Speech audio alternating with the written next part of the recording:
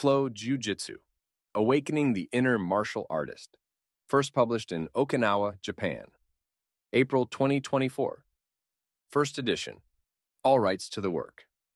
Helio Damiani Jr., reserved to the author. Special thanks. BJJ House, Okinawa students. Initial considerations.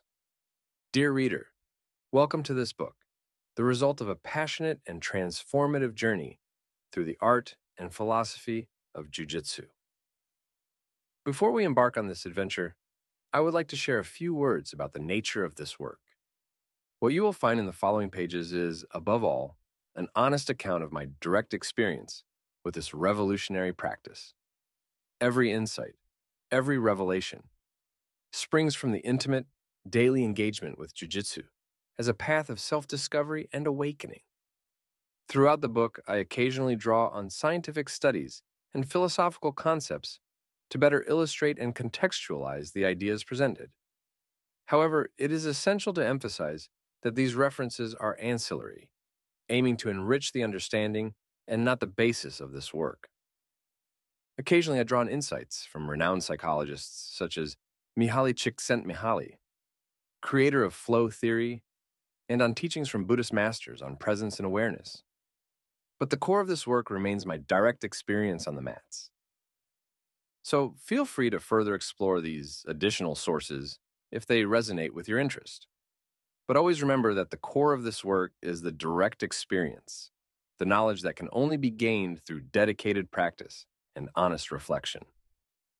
It is with humility that I share these words, as I recognize that I am not an expert in the academic fields mentioned.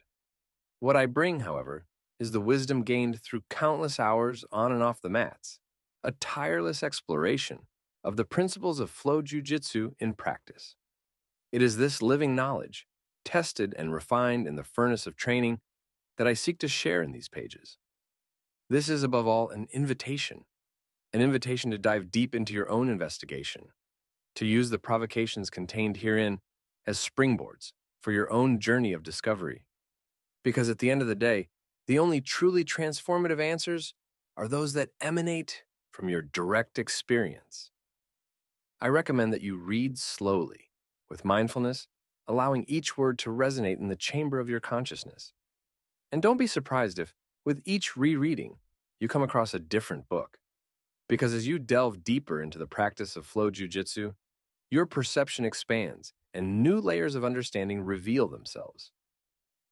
Ultimately, what I offer here are not absolute truths, but a humble map based on my personal journey. A map for you to use as a starting guide, but one that should, over time, be replaced by your own inner exploration. May these pages be a catalyst for your mastery, not only of jujitsu, but of the art of living with presence, courage, and fluidity. Thank you for joining me on this adventure. Now, take a deep breath and let's dive into the fascinating waters of Flow Jiu Jitsu. Yours sincerely, Helio Damiani Jr. Introduction Welcome to the journey of Flow Jiu Jitsu, a path that transcends the martial art to become a transformative philosophy of life. If you're holding this book, chances are you're a BJJ practitioner, looking to hone your art, elevate your game, and perhaps without even knowing it, seeking something even deeper. In the following pages, you'll discover how the principles of flow can revolutionize not only the way you train, but also how you think, feel, and live. We'll start by exploring the tangible benefits of flow jujitsu on the mat, how to cultivate the flow state, develop a growth mindset, optimize your learning, and unlock your athletic potential. But flow jujitsu is much more than a training strategy. As you delve deeper into the practice, you'll realize that the principles that make your jujitsu fluid, efficient, and beautiful are the same ones that can transform your life outside of the dojo. Gradually, we will reveal flow jujitsu as a path of deep self-knowledge, exploring themes such as presence, acceptance, letting go of the ego, and finding harmony in the midst of adversity. You will discover how the practice of the flow roll is not only a tool to improve your technique, but also a mirror that reflects your inner state and a moving meditation that can free you from limiting mental patterns. Interweaving timeless wisdom from traditions such as Buddhism and Taoism, with practical insights from modern psychology and vivid examples from the BJJ journey, this book is a guide to living more consciously, authentically, and freely. Whether you're a white belt just starting out or a seasoned black belt, the principles of flow jujitsu have the power to elevate not only your game, but your life as a whole. So open your mind and your heart and join us in this exploration of flow jujitsu. For the mat is not only a place to train, but also a laboratory for personal transformation and a sanctuary for self realization. Chapter 1 Fundamentals of Flow Jiu-Jitsu. What is flow state? Imagine yourself in a jiu-jitsu roll, sparring session. Your body moves fluidly and precisely, reacting instinctively to your partner's movements. Your mind is calm and focused, totally absorbed in the present moment. Time seems to disappear. There's only you, your opponent, and the dance of combat. Your actions arise spontaneously, guided by a wisdom that transcends conscious thought. This, my friend, is the flow state. This phenomenon, widely studied by psychologist Mihaly Csikszentmihalyi, is defined as a state of consciousness in which a person is totally immersed in the activity they are performing. In flow, body and mind operate in perfect synergy, producing a sense of clarity, control, and deep contentment. In the context of jujitsu, Entering the flow means accessing your highest technical, physical, and mental potential. In this state, movements flow naturally, without the interference of doubts or hesitations. It's as if your entire being is connected to the essence of the art, expressed through you. A dedicated jujitsu practitioner describes their experience of flow like this When I enter the flow during a roll, it's as if my body knows exactly what to do before my mind even has time to process. The techniques I've trained exhaustively emerge at the right time, in the right way.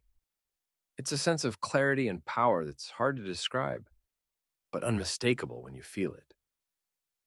The flow state, therefore, represents the union of body, mind, and spirit in the expression of jujitsu. It's the key to unlocking your fullest potential, transcending the boundaries that normally hold us back. And the most incredible thing this exceptional state of consciousness is not unique to elite athletes. It is within the reach of any practitioner willing to cultivate it. The benefits of flow on the mat. When a jujitsu practitioner enters the flow state, they access a level of performance that transcends their usual limitations. Freed from the shackles of the analytical mind, the student can absorb new techniques with surprising speed and naturalness. In flow, learning becomes almost osmotic. Instead of striving to memorize sequences of movements, the practitioner simply allows their body to assimilate the essence of each technique. It is as if, in this altered state of consciousness, a direct channel opens up between instruction and execution, tremendously accelerating the learning curve. But the benefits of flow aren't limited to the speed of absorption. When we flow with the energy of the moment, we are also flooded by a wave of creativity. New combinations, counters, and submissions sprout spontaneously, as if coming from a wellspring of wisdom far beyond our conscious repertoire. The art of jujitsu renews itself at every instant, and the practitioner becomes a co creator in this organic process. Of course, this increase in learning speed and creativity translates directly into an overall elevation of performance on the mat. In the flow state, reaction and action merge into a fluid, precise continuum. The timing of submissions becomes refined, sensitivity to the nuances of the fight expands, and the practitioner manifests a looser, more adaptive, and more efficient game. Reports like this are commonplace. Since I started cultivating the flow state in my training routine, it's like my game has jumped to a new level. I feel like I learn faster, improvise more easily, and stay calm even under pressure. It's like I access an enhanced version of myself every time I enter that state. What makes flow so powerful in the context of jujitsu is that it allows us to transcend the mental blocks that so often limit us the fear of failure, the anxiety of competition, the fixation on applying the perfect technique. All of these obstacles dissolve when we immerse ourselves in the flow of the present moment. Thus, flow reveals itself not only as a driver of learning and performance, but as a true portal for personal evolution.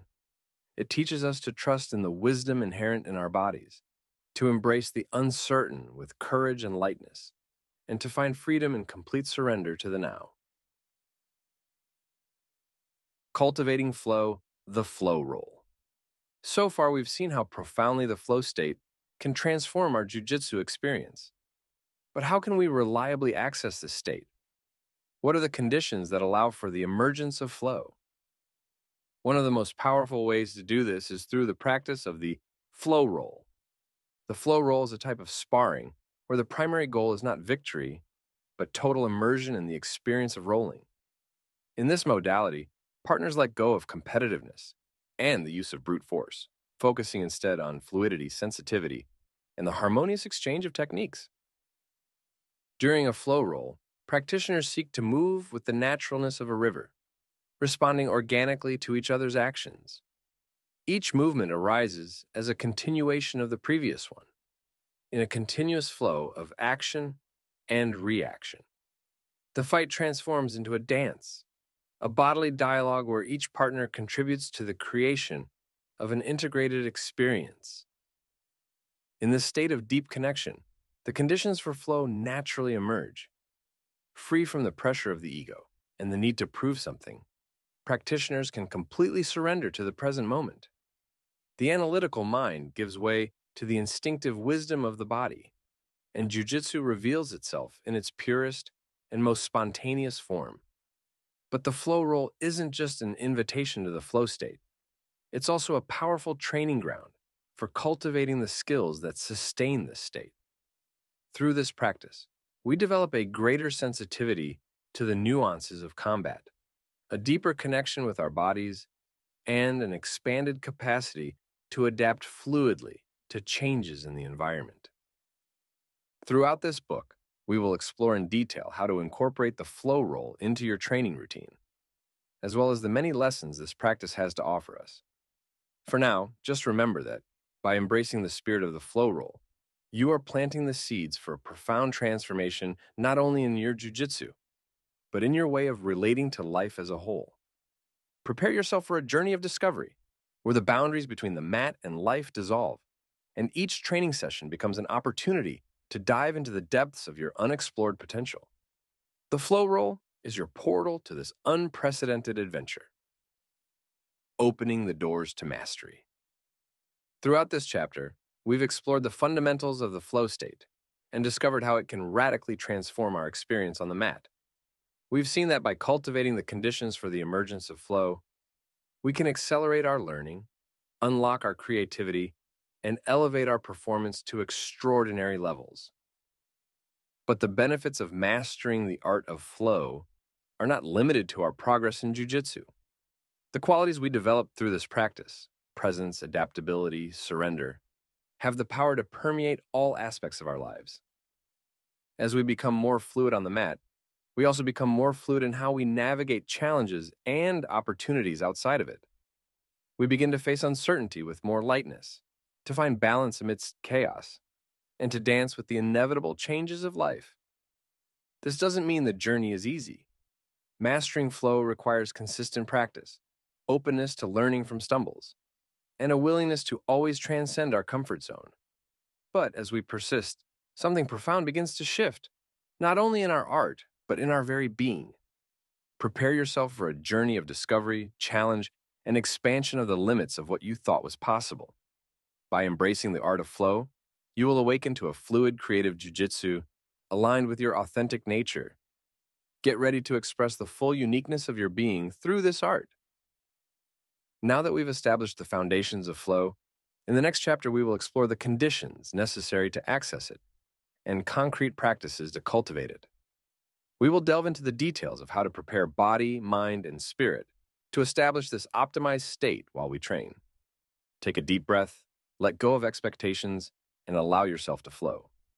The rewards that await you are far greater than you can imagine.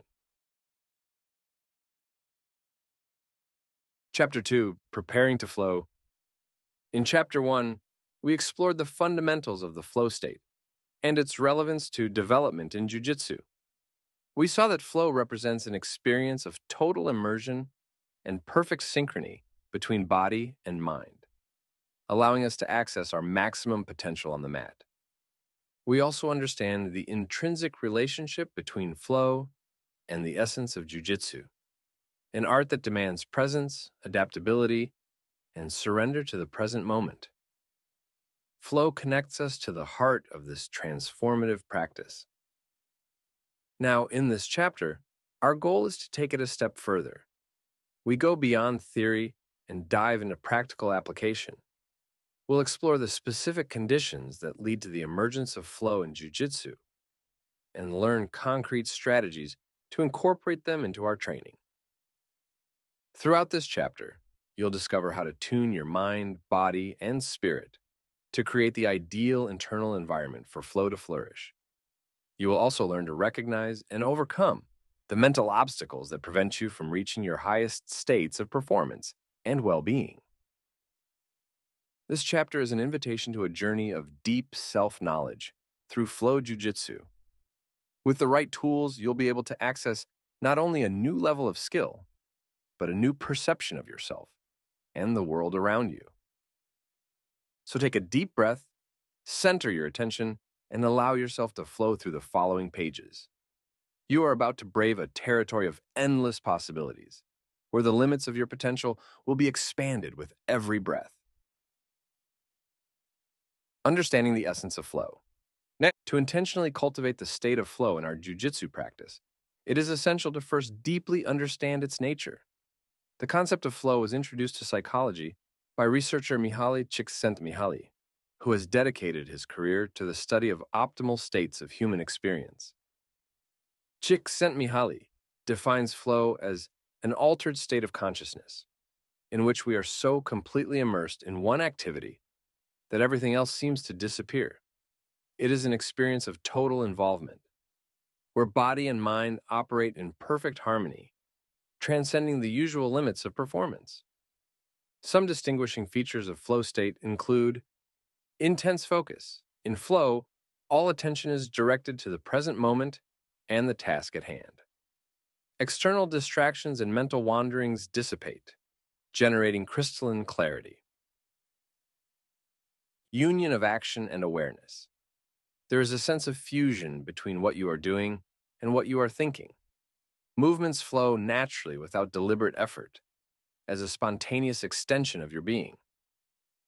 Loss of self consciousness. In flow, preoccupation with the ego dissolves. You become one with the activity, transcending the duality of subject and object. There is no room for self criticism or fear of others' evaluation. Sense of control. A sense of mastery over the situation emerges even in the face of great challenges. Your skills are perfectly matched with the demands generating a serene confidence in your abilities. Distortion of temporal perception. In flow, time seems to distort. Hours can pass like minutes, or an instant can stretch indefinitely. Chronological time gives way to a subjective time, dictated by the rhythm of the experience. The flow state can emerge in various activities as long as they involve a dynamic balance between challenge and skill clear goals, and immediate feedback. In Jiu Jitsu, flow represents the pinnacle of integration between technique, strategy, and body awareness. It is the point where the practitioner transcends thought and becomes fluid, intuitive action on the mat. With this understanding of the essence of flow, we are ready to explore the specific conditions that foster its flourishing in Jiu Jitsu. In the following sections, we will learn concrete strategies to access this peak state with absorbed in the process. Stumbles become springboards for growth. Each setback is embraced as valuable feedback, a chance to refine technique and strengthen spirit. Defeat loses its sting, transforming into a patient teacher. Perhaps the deepest benefit of flow in jiu-jitsu is the exponential increase in enjoyment and fulfillment found in training. When we transcend the ego and fully surrender to the experience, each moment on the mat becomes a celebration. Joy is no longer conditioned on external results, but springs from the very act of authentically expressing oneself through the art. Over time, these transformations transcend the bounds of the dojo and interweave into every aspect of life. The flow jiu-jitsu practitioner becomes a lifelong learner, viewing each challenge as an opportunity for growth. The creativity cultivated on the mat manifests in the artful resolution of everyday problems. Resilience translates into emotional equanimity, and the joy of flow becomes a state of being, independent of circumstances. Thus, through the flow state, Jiu-Jitsu reveals itself not just as a martial art, but as an art of living. Each class is a lesson in presence, each roll a dance of discovery, each fall an invitation to rise with grace. The mat becomes a microcosm of existence, and flow our inner compass to navigate its mysteries with lightness and mastery. Conclusion Throughout this chapter, we embarked on a journey to unravel the mysteries of the flow state and its transformative impact on jiu-jitsu practice. Recapping our discoveries, we saw that flow is an altered state of consciousness, characterized by total immersion, enhanced performance, and profound satisfaction. We explored the essential conditions for cultivating flow on the mat, from balancing challenge and skill to fully focusing on the present moment. Through practical exercises like calibrating goals, refining kinesthetic feedback, and using anchors for presence. The practitioner can actively invite flow into their martial journey. However, the path to flow is not without obstacles. Anxiety, overthinking, attachment to ego, and stagnation in the comfort zone can all block access to this state of flow. By recognizing these challenges and applying specific strategies to transcend them, we open the doors to deeper and more consistent flow experiences. The rewards of embodying flow in jiu-jitsu practice are vast and profound. From accelerated learning to increased creativity, from enhanced resilience to increased enjoyment, flow is a catalyst for evolution on all levels. More than a tool for athletic performance, flow reveals itself as a guide for personal transformation, radiating its benefits far beyond the mat. By living the principles of flow jujitsu, the practitioner becomes an artist of life, shaping their existence with presence, grace, and authenticity. As we conclude this chapter, I invite you, dear reader, to personally experiment with the exercises and concepts presented here. Be gentle with yourself in this exploration, remembering that the path to mastering flow is a journey of patience, practice, and discovery. In the next chapter, we will deepen our investigation, examining how the flow state can be nurtured and sustained by creating an optimal training environment. Prepare to dive into the subtle elements that transform a dojo from a mere physical space into a sanctuary for growth and awakening. Until then, may your practice be filled with presence, your mind open to the magic of the moment, and your heart courageous to embrace the unknown. After all, it is in the arms of mystery that true mastery resides. Chapter 3 Cultivating the Flow State on the Mat. In the previous chapters, we dove into the fundamentals of flow jujitsu, exploring the essential principles that underpin this transformative approach to the gentle art. Now it's time to bring these concepts into practice focusing specifically on how to cultivate the flow state during our training on the mat. The flow state, as we've seen, is characterized by total immersion in the present activity, where body and mind attune in perfect harmony. In this state, our movements flow with grace and precision, our reflexes sharpen, and our awareness expands, transcending the limitations of the ego. In the context of jujitsu, flow represents the pinnacle of technical and artistic expression. It's in this state that we free ourselves from mechanical rigidity and allow ourselves to dance fluidly to the rhythm of our partner's resistance. It's where the fight becomes a creative play, a celebration of the connection between two human beings engaged in a dynamic bodily dialogue. But how can we consistently invoke this state during our training? What are the necessary conditions for flow to emerge and sustain itself in the heat of the roll? And how can we overcome the mental and emotional obstacles that often pull us away from this state of grace? In this chapter, we'll explore these questions in depth. We'll combine insights from flow research with the practical wisdom of the mat, weaving a tapestry of strategies for you to cultivate this optimized state in your martial journey.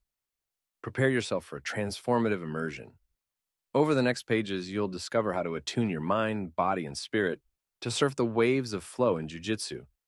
You'll learn to create the internal and external conditions for magic to happen navigating masterfully between technique and spontaneity, structure and improvisation, control and surrender. The origin of the concept. The concept of flow was originally introduced by Hungarian American psychologist Mihaly Csikszentmihalyi in the 1970s. Through extensive research and interviews with hundreds of individuals from different fields, from artists and athletes to scientists and musicians. Csikszentmihalyi sought to understand the states of optimal human experience. He observed that, regardless of the activity, culture, or socioeconomic background, people described very similar experiences when they were totally immersed in what they were doing. In these moments, individuals reported a sense of complete absorption and focus, where the concerns and distractions of everyday life disappeared.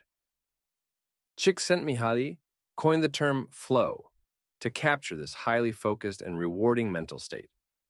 He defined it as an experience of complete immersion in an activity where our skills are in balance with the challenges faced. In this state, our consciousness merges with our actions, leading to a sense of spontaneity and control. Csikszentmihalyi's research also revealed certain conditions that tend to facilitate the flow state such as having clear goals, receiving immediate feedback, and feeling that we have the necessary skills to meet the challenges at hand. When these conditions are present, we become fully absorbed in the present moment, and our performance tends to reach extraordinary levels. Since its introduction, the concept of flow has been widely studied and applied in various fields, from sports psychology to game design and learning strategies. In the context of Jiu Jitsu, Understanding the origins and characteristics of flow gives us a solid foundation to intentionally cultivate this state in our practice, enhancing not only our performance on the mat, but also our satisfaction and personal growth through the art. Flow and Oriental wisdom. Although the term flow has been recently coined in Western psychology, the state it describes finds profound parallels in the traditions of the East particularly in Zen Buddhism and Taoism.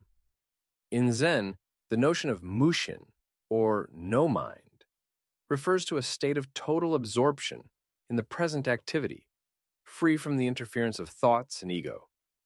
It is a condition of pure spontaneity and receptivity, where the practitioner acts in perfect harmony with the moment.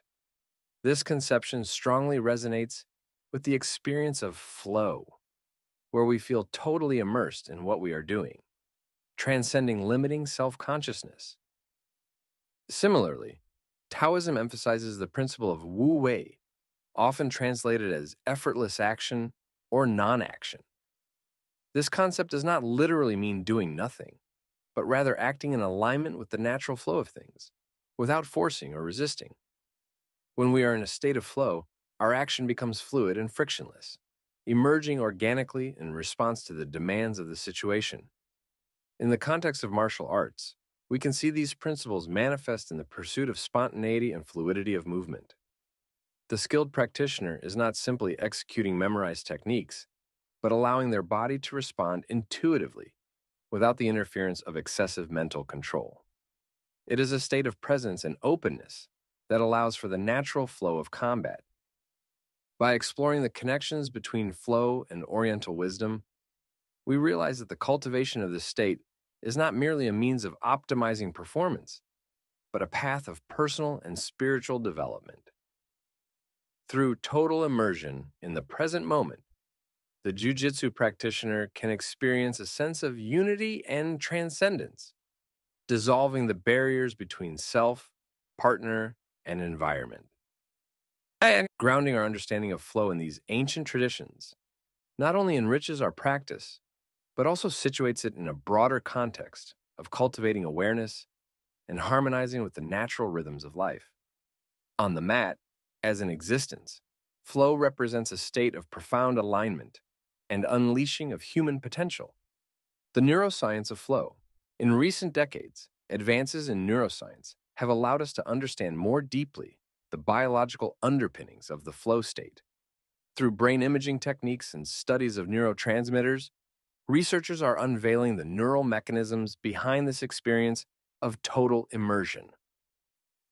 One of the most consistent findings is that during flow, different regions of the brain enter a state of synchrony or coherence. In particular, there is a decrease in activity in the prefrontal cortex, the area associated with self consciousness, judgment, and critical analysis. This partial deactivation allows higher cognitive functions to give way to a more spontaneous and intuitive mode of operation. Simultaneously, there is an increase in activity in areas such as the anterior cingulate cortex and the insula, involved in focused attention and processing of interoceptive information, internal bodily sensations. This shift in the pattern of neural activity suggests a greater integration of mind and body during flow, with the individual highly attuned to their actions and environment. Moreover, flow is associated with the release of a number of neurotransmitters, including dopamine, norepinephrine, and endorphins. Dopamine, in particular, plays a crucial role in motivation, learning, and the sensation of reward. Elevated levels of dopamine during flow may account for the inherent sense of pleasure and satisfaction in this state. Another fascinating aspect is the impact of flow on neuroplasticity, the brain's ability to form new connections and reshape itself in response to experiences. Studies suggest that when we learn or practice a skill in a flow state, the brain is especially receptive to structural changes. Lessons are encoded more deeply and enduringly at both a neural and muscular level. In the context of jujitsu, these neurological findings offer valuable insights. They help us understand why flow is so conducive to accelerated learning and overcoming plateaus. When we are fully immersed in practice, free from judgment and distraction, our brain is optimally primed to absorb and integrate new information and movement patterns. At the same time, the neuroscience of flow reminds us of the importance of cultivating a receptive engaged state of mind. Through practices like mindfulness, breathwork, and visualization, we can intentionally facilitate the neural conditions for flow, thereby enhancing our evolution on the mat. Armed with this understanding, we can approach our practice not merely as physical training, but as an opportunity to sculpt our brain for growth and mastery. Each training session becomes an invocation of neuroplasticity, an invitation to transcend our perceived limitations and expand into new possibilities. Cultivating the conditions for flow on the mat. Now that we understand the conceptual and neuroscientific underpinnings of flow, let's explore how we can intentionally create the conditions to access this state during our jujitsu practice. Balance between challenge and skill. One of the keys to entering flow is finding the sweet spot where the level of challenge is high enough to fully engage us, but not so high as to overwhelm us. This means choosing partners and situations that push us beyond our comfort zone, but are still within our ability to handle. We can do this progressively, increasing complexity as our skills evolve. Being a good training partner is crucial. If you are physically or technically superior to your training companion, learn to put yourself in situations or create constraints where you help your partner and yourself find the balance between challenge and skill. Clear goals, and immediate feedback. Flow is facilitated when we have a clear goal in mind and can immediately perceive the results of our actions. In the context of jujitsu, this could mean working on a specific technique or concept during a session and paying attention to how our body and our partner respond to each movement. By maintaining a specific focus and being open to constant feedback, we create a cycle of action and adaptation that can lead us into a flow state. Remember that goals are to guide your focus. Don't force to reach your goal, but rather notice paths that will lead you to your objective. Presence and immersion in the moment. Perhaps the most important factor for accessing flow is the ability to be fully present and immersed in the activity at hand.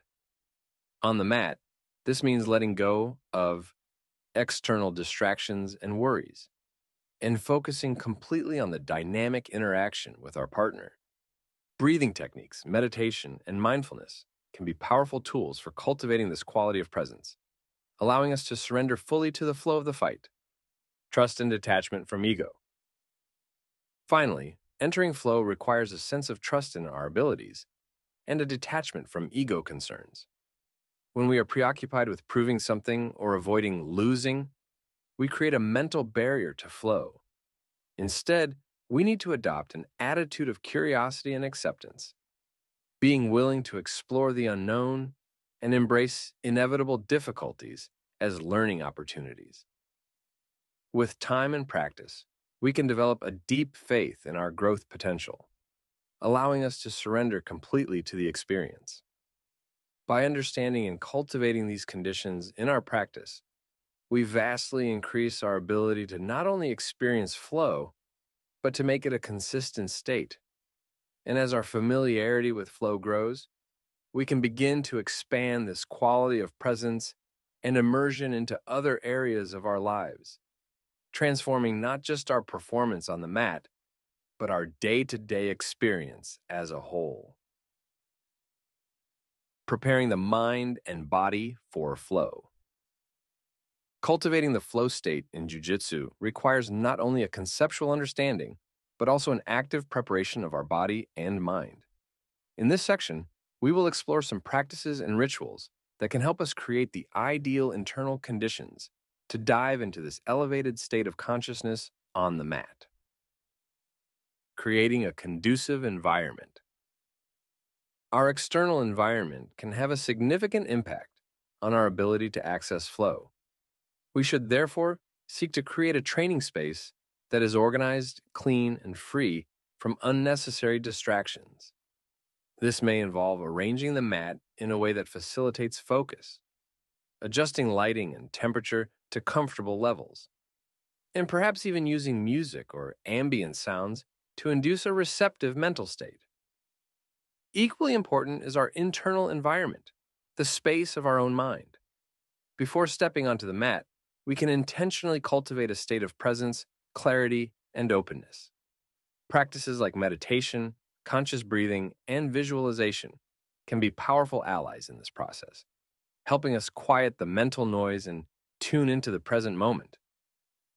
Conscious physical warm up. Physical warm up is an essential part of any jujitsu practice, but it is often done mechanically or half heartedly.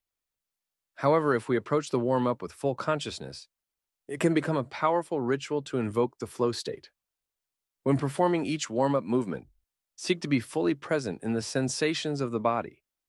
Notice the stretching and contracting of muscles, the flow of breath, the contact of feet with the mat. Allow this fine tuned body awareness to anchor you in the here and now, dissipating past or future concerns. You can also use the warm up as an opportunity to set a clear intention for your practice. As you move your body, visualize yourself executing techniques with fluidity and precision, or experiencing qualities like calmness, agility, and connection. These positive intentions can serve as a beacon guiding you toward the flow state. Establishing pre training rituals. Rituals have a unique power to transport us into an altered state of mind. By creating and consistently practicing a pre training ritual, we are essentially training our minds to enter flow mode on demand. Your ritual can be simple, like doing a brief seated meditation, visualizing a successful training session, or repeating a mantra or affirmation that invokes the desired state. The key point is to perform the ritual with presence and intention, allowing it to serve as a bridge between the everyday world and the elevated realm of flow. With time and repetition, these rituals become anchored triggers, cues to our body and mind that it's time to set aside distractions and fully immerse in the present moment. They become reliable portals that enable us to access our best on the mat, regardless of external circumstances. So, whether we are setting up our training space, tuning our body awareness, or invoking elevated mental states, preparation for flow is an active and intentional process. With practice, these strategies become second nature, effortlessly weaving into our jujitsu routine and paving the way for ever deeper experiences of immersion and mastery, navigating obstacles to flow. Even with the best intentions and preparation, the path to flow is rarely smooth. Throughout our journey, we will inevitably encounter obstacles, both external and internal, that can divert us from this ideal state. In this section, we will examine some of the most common challenges and explore strategies for overcoming them with grace and resilience. Dealing with frustration and ego.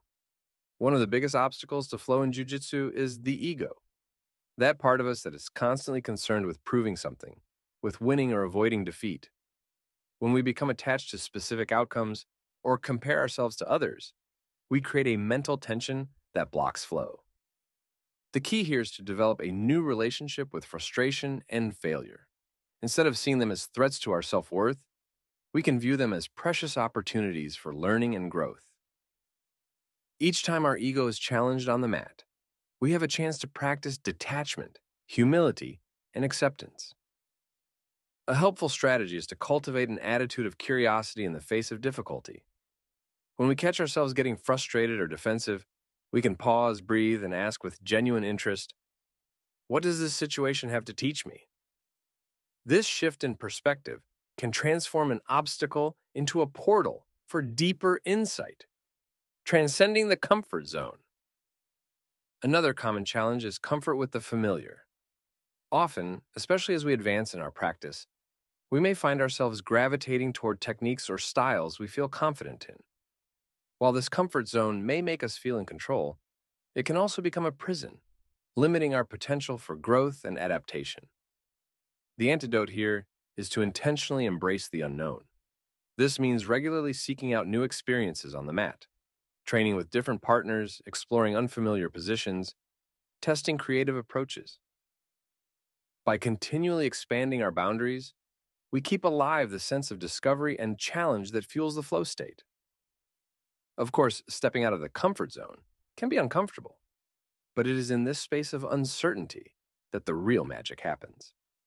By allowing ourselves to be beginners again, we open the doors to quantum leaps in learning and adaptability, essential qualities for sustaining flow over the long term, finding fluidity in adversity. Lastly, a persistent obstacle to flow is perceived adversity, those times when we feel overwhelmed, tired, or unmotivated. In these moments, the state of total immersion can seem like a distant mirage. Yet, it is precisely in these times that the principles of flow become most valuable. Rather than resisting or retreating from adversity, we can choose to find fluidity within it. This means tuning even more deeply into the present moment, trusting our training and instincts, and finding enjoyment in the challenges. A powerful tactic is to rekindle our sense of purpose. Remembering why we started this journey connecting with our passion for the art can transform an ordeal into an adventure. With practice, we can learn to ride the waves of adversity, using its energy to propel us to new heights. Facing obstacles, whether internal or external, is an inevitable and even necessary part of the flow path. Each challenge is an opportunity in disguise to deepen our practice, refine our character, and expand our conception of what is possible. By navigating these obstacles with awareness and intention, we not only cultivate our capacity to access flow, but we also become more skilled, resilient, and evolved martial artists. Cultivating the beginner's mind in our journey to mastering the art of flow and jujitsu. One of the greatest allies we can have is the mind of a beginner. No matter how many years of practice we have under our belts or how many colored stripes adorn our waist, maintaining an attitude of openness, curiosity, and humility is essential for continued learning and growth. The trap of expertise. As we progress in our practice, it's easy to fall into the trap of thinking we already know all there is to know.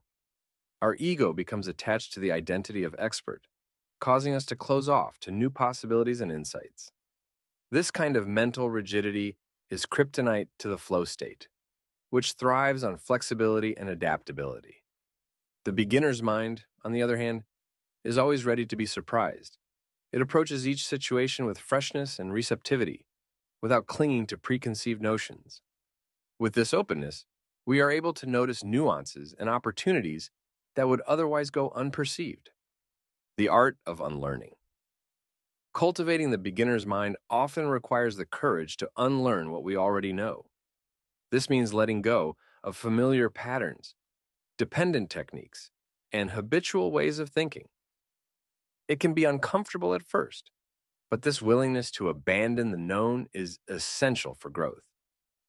On the mat, we can intentionally practice not knowing. When rolling with a partner, we can ask ourselves, what if I approached this situation as if it were the first time? What new possibilities would arise? By cultivating this playful curiosity, we keep the spark of discovery alive, embracing impermanence. At the heart of the beginner's mind is a deep recognition of the ever changing nature of reality.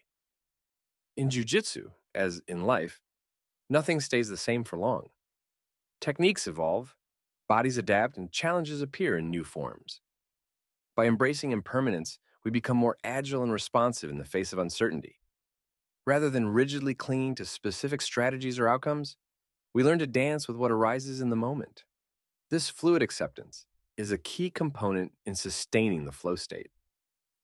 Of course, the beginner's mind is not something we master once and for all. It's an ongoing practice, a mental muscle we strengthen each time we step on the mat. With time and repetition, this state of openness and receptivity becomes more natural permeating not just our jujitsu, but all aspects of our lives. In this chapter, we've explored the transformative power of the beginner's mind in cultivating the flow state. By embracing curiosity, impermanence, and the art of unlearning, we become perpetual students, not just of jujitsu, but of the vast and intriguing school of life. With this humility and openness, we unlock new realms of possibility both on and off the mat the transformative power of consistent practice. At the heart of cultivating flow in Jiu-Jitsu is the commitment to consistent practice. It is through intentional repetition that we integrate the principles of flow on a deep level, transmuting them from intellectual concepts into lived realities. Developing mastery through repetition. Mastery in any discipline is not a singular event but rather the accumulation of countless deliberate actions. Each time we step on the mat with a clear intention, we're depositing one more layer of skill and understanding into our being. The key here is the quality of practice.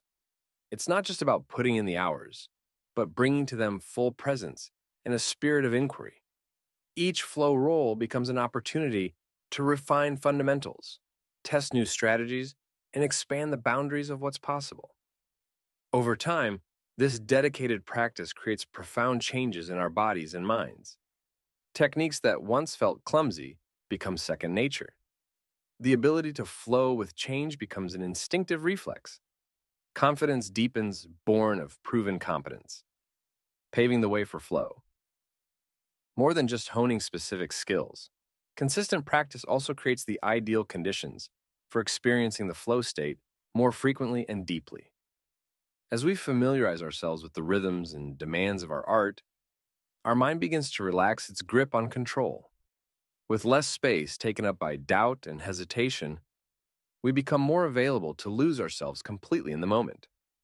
Furthermore, through repeated exposure to the challenges of jujitsu, we gradually expand our comfort zone. What once seemed impossible becomes just another puzzle to calmly and creatively solve. With this expanded capacity, our potential for accessing flow expands as well, embracing the process. Perhaps the most transformative insight that consistent practice offers is an appreciation for the process itself. As we engage day after day in the discipline of jujitsu, we begin to find joy and fulfillment not just in moments of advancement, but in the entire journey of growth. We learn to value defeats as much as triumphs, recognizing that every challenge is a disguised opportunity to refine ourselves. We develop a more peaceful relationship with frustration, understanding it as a natural companion to any pursuit worth undertaking. With this shift in perspective, the flow state becomes less of a goal to chase and more of a natural way of being. We find a measure of freedom and joy in the simple act of giving ourselves fully to what we love. Thus, consistent practice is far more than a means to an end. It's a path of transformation in its own right. By committing to the loving discipline of jujitsu, we subtly reshape our bodies, minds, and hearts, becoming more attuned to the flow of life on and off the mat.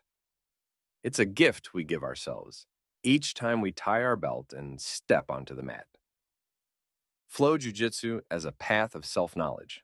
As we delve deeper into our exploration of Flow Jiu-Jitsu, it becomes increasingly clear that this practice is much more than a mere technical approach to the gentle art.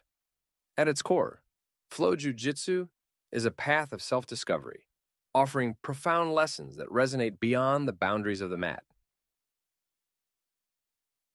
mirroring our internal patterns. One of the most powerful facets of flow jujitsu is its ability to reflect our mental and emotional states. During a flow roll, our internal blockages and limitations manifest in tangible ways through hesitations, rigidity, or overreactions. In this sense, the practice becomes a mirror, allowing us to see clearly the areas where we need to work. Perhaps we notice a tendency to give up when things get challenging, or a reluctance to step out of our comfort zone. By bringing these tendencies into the light of awareness, we gain the opportunity to address them with compassion and intention. Cultivating presence and equanimity.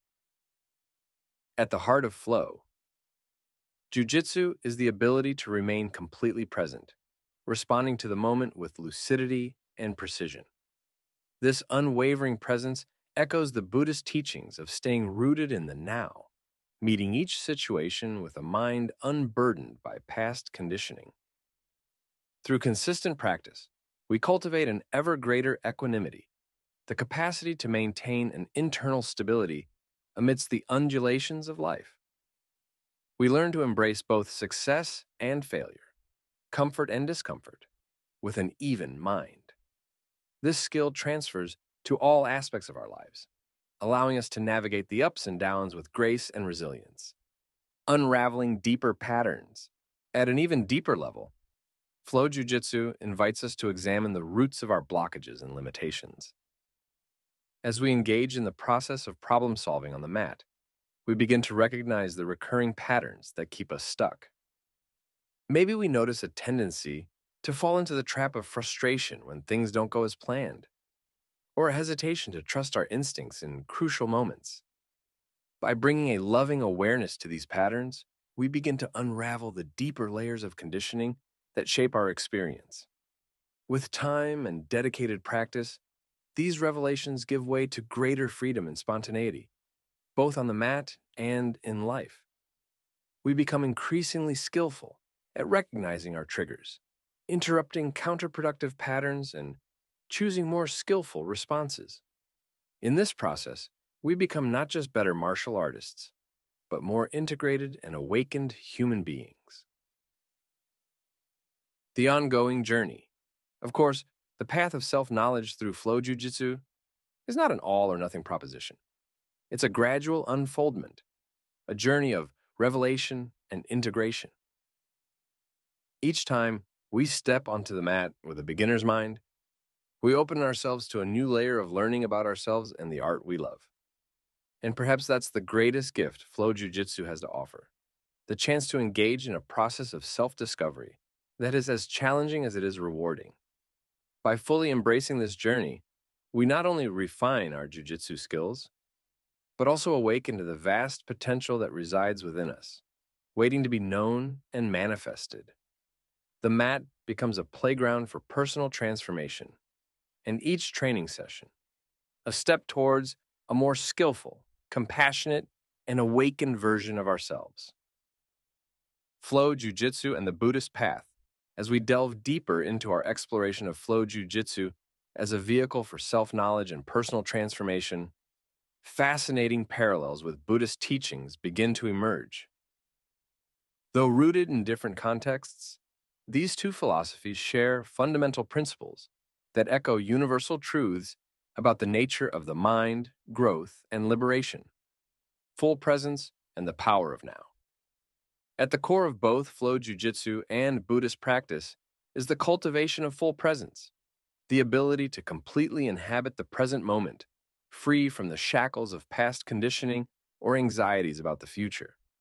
On the mat, this presence manifests as a total immersion in the dynamic dance of combat, spontaneously responding to each movement with lucidity and precision. This state of unwavering attentiveness reflects the Buddhist teaching of staying rooted in the now, meeting each situation with a fresh mind unencumbered by preconceptions. Through consistent practice, both the martial artist and the Buddhist practitioner cultivate an ever greater capacity to embrace the present moment, unlocking reserves of clarity, creativity, and wisdom that reside beyond the reach of discursive thought. Confronting the roots of suffering. Another remarkable point of convergence between flow jiu-jitsu and Buddhism is the recognition that the roots of our suffering and limitations ultimately reside within ourselves. On the mat, our fears, attachments, and reactive patterns manifest in tangible ways, creating hesitation, rigidity, or desperation in crucial moments. Similarly, Buddhist teachings locate the source of our dissatisfaction in conditioned mental states such as ignorance, attachment, and aversion. Through introspective practice, we are invited to face these tendencies with honesty and compassion, unraveling layers of conditioning to reveal a deeper freedom. In both flow jujitsu and the Buddhist path, this process of self confrontation is facilitated by careful attention to the subtle movements of mind and body. We learn to recognize the signs of stress and contraction, using them as invitations to relax into a more tranquil awareness. Over time, this practice progressively liberates us from the patterns that constrain us, revealing a more fluid and harmonious way of being. Transformation through embodied practice. Perhaps the deepest parallel between these two traditions is the commitment to embodied practice as a vehicle for transformation. In both flow jiu-jitsu and Buddhism, the most profound insights are not merely understood conceptually, but lived and integrated through diligent, sustained action. On the mat, we refine our being through countless repetitions, forging body and mind in the heat of combat. Each training becomes an opportunity to test our understanding, facing the resistances that arise, and discovering new possibilities for skillful response. Similarly, the Buddhist path emphasizes meditation and ethical conduct as the foundations of an awakened life. Through consistent practice, we gradually align our thoughts, words, and actions with our deepest understanding, closing the gap between insight and action. In both disciplines, there are no shortcuts to mastery, only patient, loving engagement with the process of unfolding. And yet, it is precisely through this unwavering commitment that we open ourselves to the possibility of genuine, enduring transformation. Different paths, one mountain. While the similarities between flow jujitsu and Buddhism are striking, it's important to recognize that they remain distinct paths, each with their own nuances, methods, and areas of emphasis. Buddhism is, first and foremost, a comprehensive spiritual path dealing with questions of existence, suffering, and ultimate liberation. Flow Jiu-Jitsu, while deeply transformative, is fundamentally a martial discipline, concerned with cultivating a fluid awareness within the specific context of combat. However, as the Zen saying reminds us, there are many paths to the top of the mountain. Though flow jiu-jitsu and Buddhism may differ in form and flavor, they are united by a shared impulse toward awakening, a longing to transcend the limitations of a contracted sense of self and rediscover the inherent freedom that is our birthright. In this sense, the practice of flow jiu-jitsu can be seen as a contemporary expression of perennial truths, a way of embodying ancient principles of presence, openness, and fluid spontaneity within the pressurized crucible of combat. By fully embracing this path, we become not only more skilled martial artists, but also open the door to a transformation that resonates through all aspects of our lives.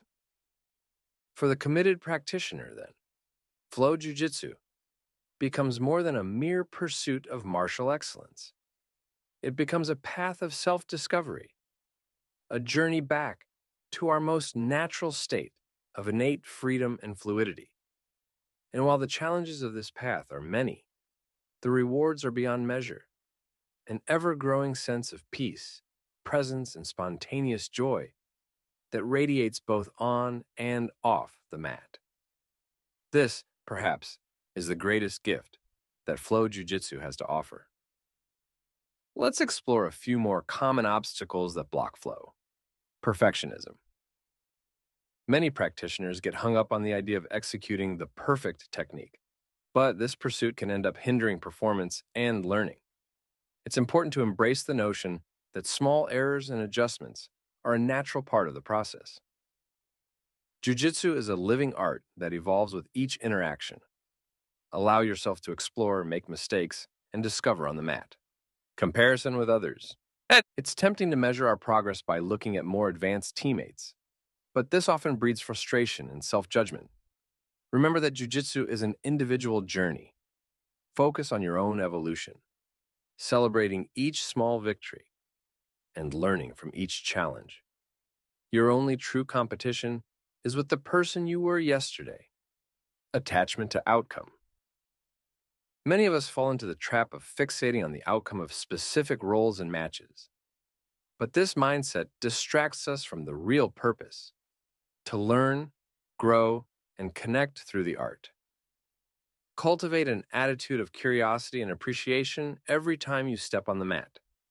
Regardless of the final score, you win every time you embrace the opportunity to explore and refine your expression of jujitsu. By recognizing and overcoming these pitfalls, we create space for flow to flourish in our practice. But remember, mastering the art of jujitsu is a process not a final destination. There will be days when the mind wanders, frustration arises, or the pressure to prove takes over. In those moments, be gentle with yourself. Breathe, release expectations, and bring your attention back to the present. With consistent practice, clear intention, and a playful attitude, you'll gradually find flow with more ease and frequency. That's the beauty of the path. Each obstacle is an opportunity to deepen your surrender. Each fall is a chance to blossom. So move forward with courage, knowing that you have everything you need to awaken your limitless potential. Flow is always there, inviting you to dive into the dance of jujitsu with presence, lightness, and an open mind. Answer that call and discover true freedom at the center of the mat. The stage is set. It's time to flow. Chapter 4 Deepening the Flow Roll Partnership, Presence, and Play. The transformative power of the flow roll. In this chapter, we'll dive into the art of the flow roll, a practice that goes beyond technique to become a portal to presence, connection, and growth. More than just a training exercise, the flow roll is an opportunity to explore the principles of flow jujitsu in action, cultivating a deeper understanding of yourself, your partner, and the art.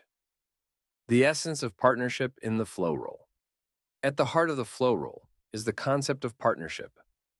Unlike a fight or competition, the goal is not to dominate the other, but rather to create a fluid dance of movement and energy.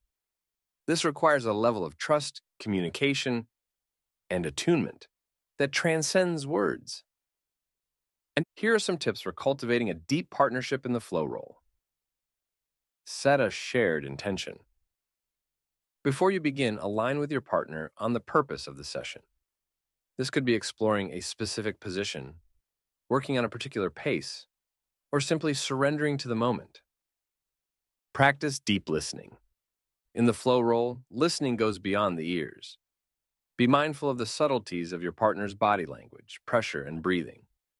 This allows for intuitive communication and an ability to respond organically, give and take. A good flow roll is a balanced exchange of give and take. Be willing to offer resistance and challenges to your partner, but also be open to receiving the same. This reciprocity creates a sense of balance and connection. Cultivating presence through the flow roll. One of the greatest gifts of the flow roll is its ability to anchor us in the present moment. When we are fully engaged in the dynamic dance of the flow roll, there is no room for mental wandering or external worries. There is only the immediate purity of the interaction. To deepen your presence during the flow roll, try anchoring your attention on the breath. Whenever you notice your mind wandering, gently bring your attention back to the rhythm of your breathing. Let it be a continuous reminder to return to the now. Involve all your senses. Jiu-Jitsu is a multi-sensory experience. Pay attention to the touch of the gi, the warmth of skin, the sounds of the dojo. Allowing your senses to fully engage helps keep you present. Embrace not knowing. In the flow roll, we are constantly confronted with the unexpected. Instead of resisting or trying to control, practice embracing uncertainty. Surrender to the unfolding experience with curiosity and receptivity, awakening your playful spirit. Perhaps the most joyful aspect of the flow roll is its ability to awaken our innate playful spirit. When we fully surrender to the experience, the mat becomes a playground where we can explore, create, and freely express ourselves. To nurture your sense of play during the flow roll, release attachment to outcomes. Remember, the goal isn't to win, but rather to learn and grow. Free yourself from the pressure to achieve a certain result, and allow yourself to enjoy the process. Be creative. The flow roll is a blank canvas for your self expression. Play with new transitions, try unorthodox combinations. Follow your creative impulses. There's immense joy in being bold and experimental. Celebrate moments of connection. Be attentive to moments of synchronicity with your partner. When your movements perfectly merge, when you laugh together at a shared mistake. These moments of resonance are the true gold of the flow roll. Taking the flow roll into life the beauty of the flow roll is that its benefits extend far beyond the mat. By cultivating presence, partnership, and playfulness in our jujitsu practice, we are actually training skills that can transform all aspects of our life.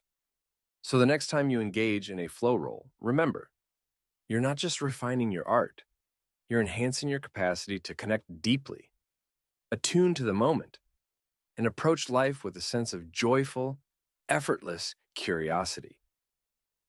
The flow roll is, in many ways, a metaphor for life well lived. Embrace this invitation to roll more lightly, be more present, and accept the unfolding of experience. For it's in the depths of flow where the magic happens, both on the mat and beyond. Inspiring stories of flow roll partnerships. To illustrate the power of partnership in flow jujitsu, we can share the story of two practitioners who transformed their relationship through the consistent practice of flow rolling. They were two training partners with quite distinct personalities. One was extroverted and always ready for a challenge, while the other was more reserved and cautious. In the beginning, their flow rolls were tense and disconnected, as if they were speaking different languages. But over time, they began to tune into each other. Before each session, they would set a shared intention, whether it was to explore a specific position or to maintain a certain pace. They started to listen deeply to each other's movements and reactions, adjusting in real time. Gradually, a fluid dance emerged.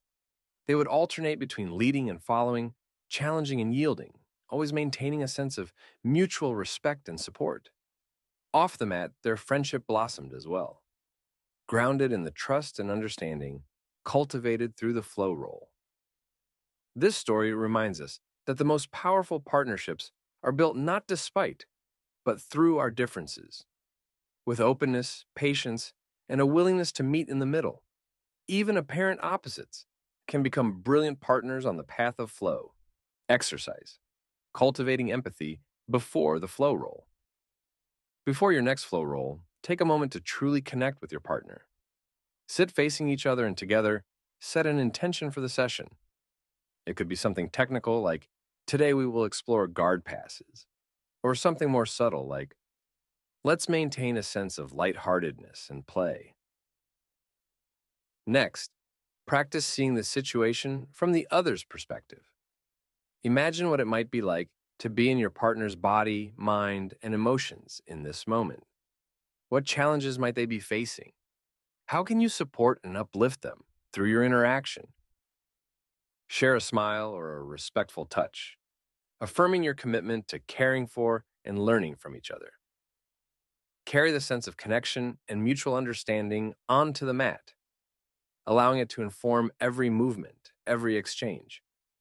You'll find that with this foundation of empathy, your flow roll takes on a new depth. It's no longer about two separate individuals but a synchronous partnership, moving and growing as one art. Beginner's Mind The Key to Presence. A powerful concept we can apply to our flow rolling practice is that of beginner's mind. This involves approaching each interaction on the mat with a sense of freshness and openness, as if it were the first time. Often, especially as we advance in our jujitsu journey, we can get stuck in patterns and assumptions. We think we know how a roll will unfold based on past experiences. But this mindset can actually distance us from the present moment. Cultivating beginner's mind means letting go of these expectations and allowing yourself to be surprised. It's stepping onto the mat with a sense of curiosity and wonder, ready to discover something new each time. Here are some practical tips for cultivating beginner's mind during the flow roll. Before you begin, pause and take a deep breath. Acknowledge and release any expectations or worries. Approach your partner with a sense of genuine curiosity. What can you learn from them today?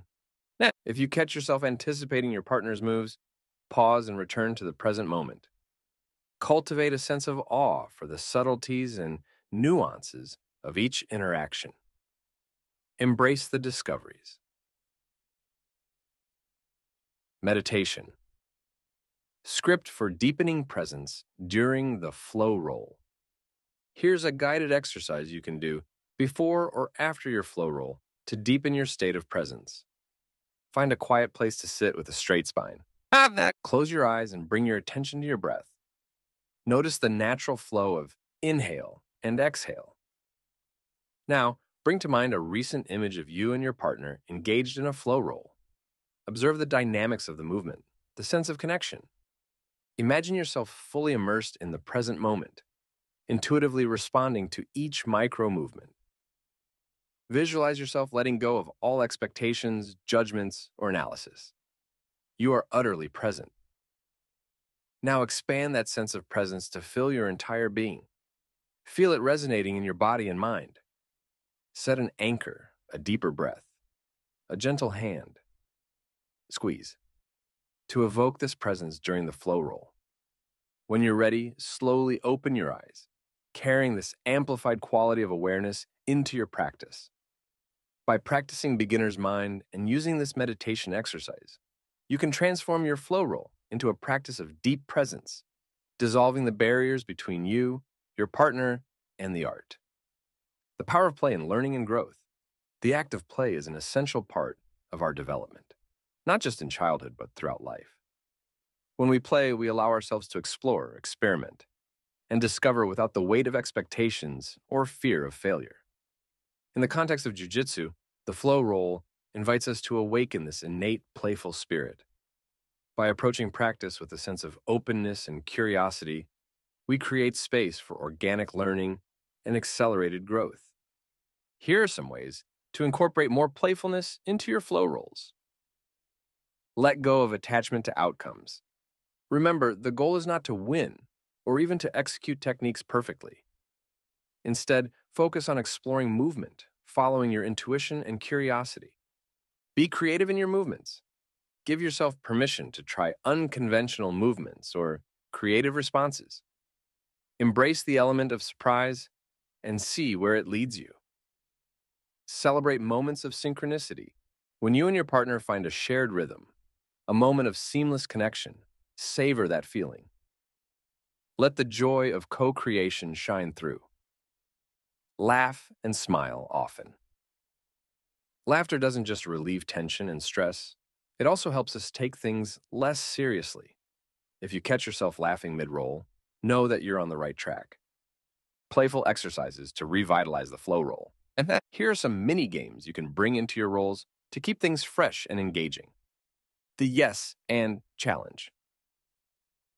In this exercise, the goal is always to accept and build on your partner's movement.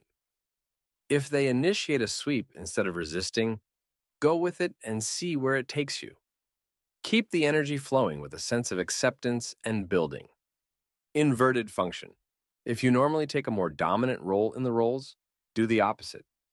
Let your partner set the pace and focus solely on following and responding. Or, if you tend to be more passive, take the lead and initiate movements. Playing with different dynamics can lead to new insights. The imitation game. For a few exchanges, consciously mirror your partner's movements and energy. Copy their postural adjustments, their breathing rhythm, their movement patterns. Then, at some point, take the lead and see if your partner starts mirroring you.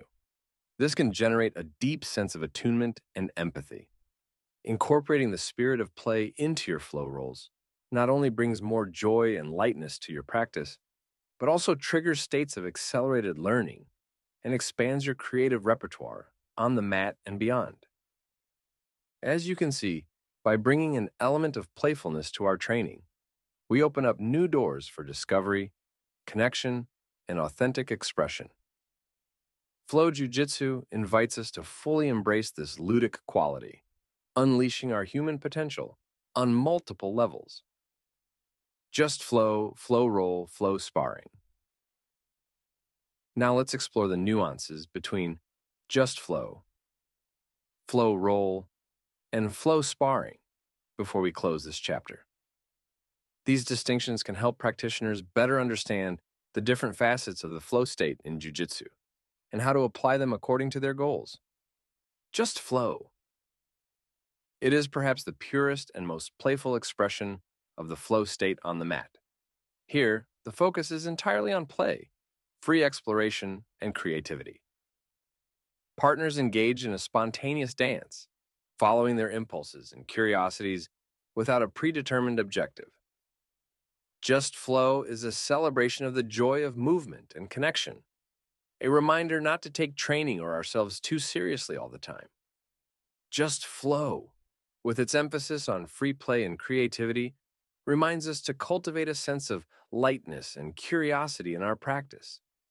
When we allow ourselves to explore movement without expectations or rigid goals, we open up space for unexpected discoveries and the pure enjoyment of jujitsu. For those who tend to be overly serious or goal oriented in their training, dedicating time to just flow can be liberating and invigorating. Flow roll.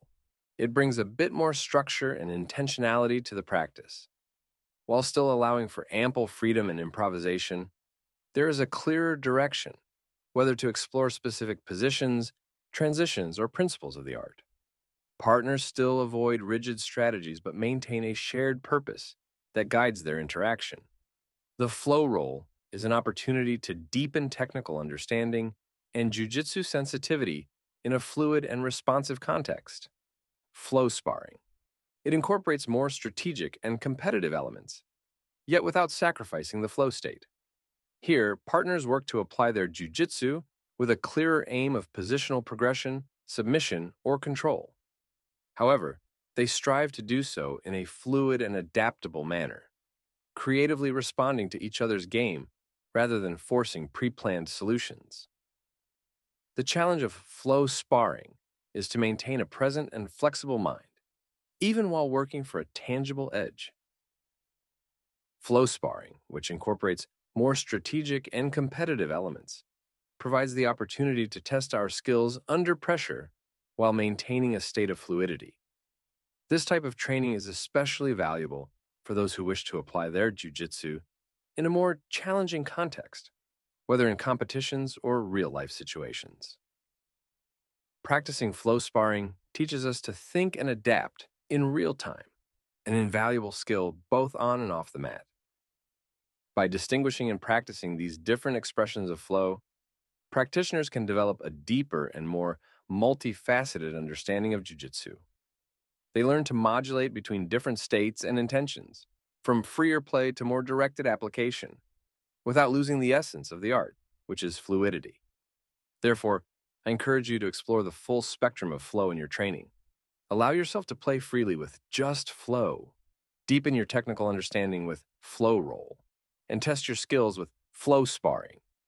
By embracing all these facets, you'll develop a richer, more adaptable, and truly yours jujitsu.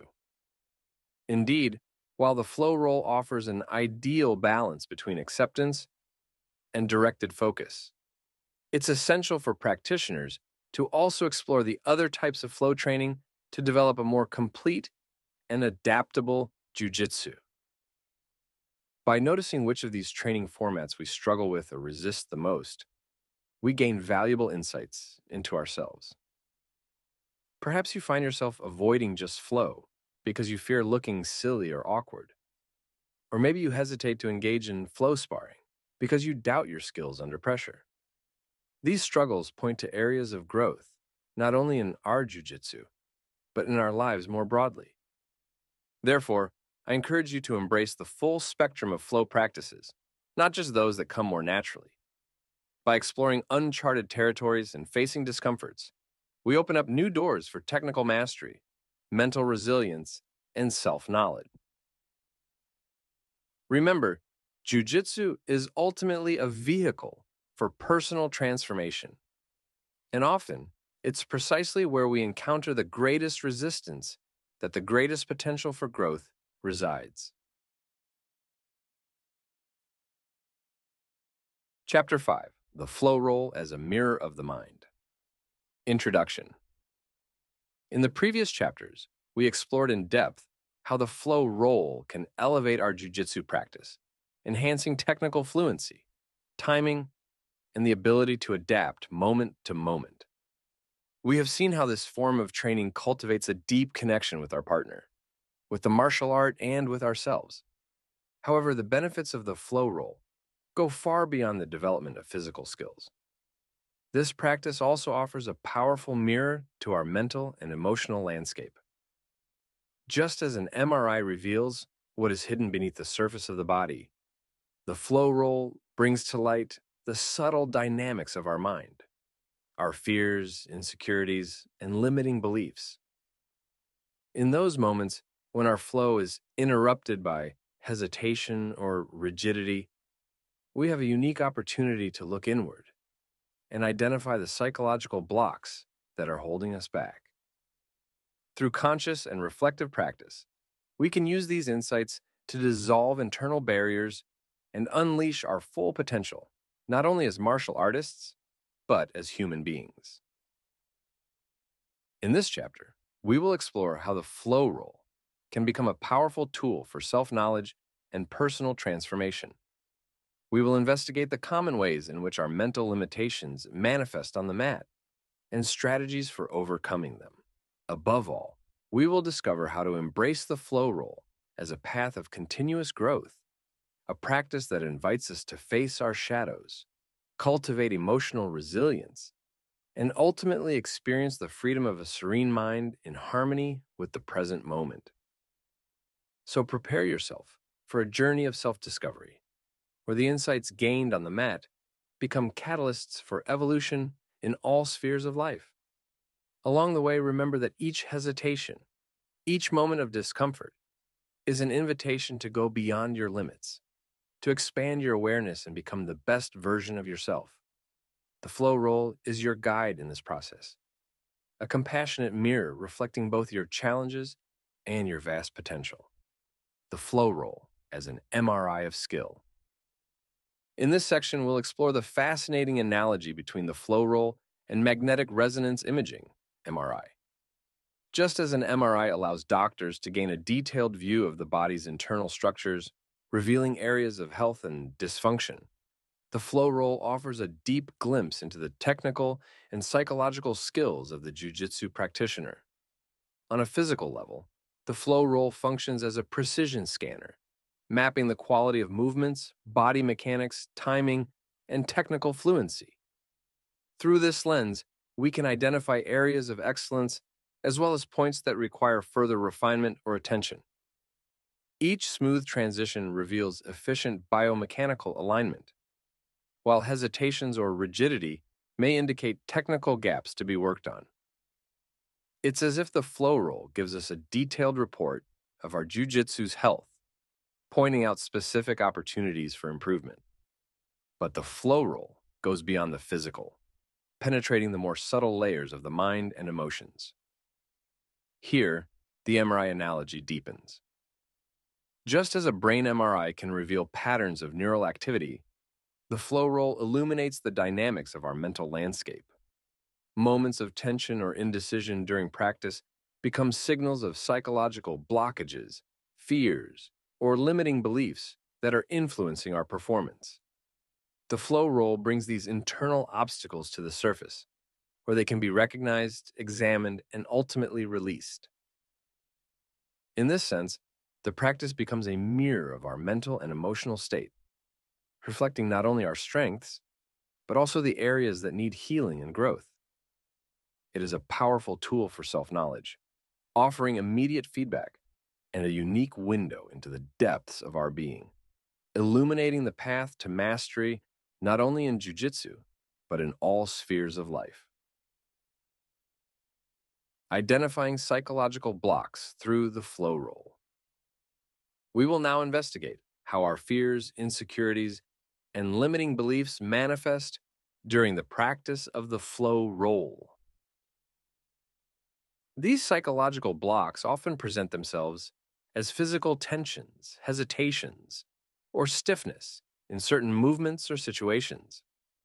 For example, a practitioner may feel a tightness in the chest and a tendency to hold their breath when in a vulnerable position under pressure.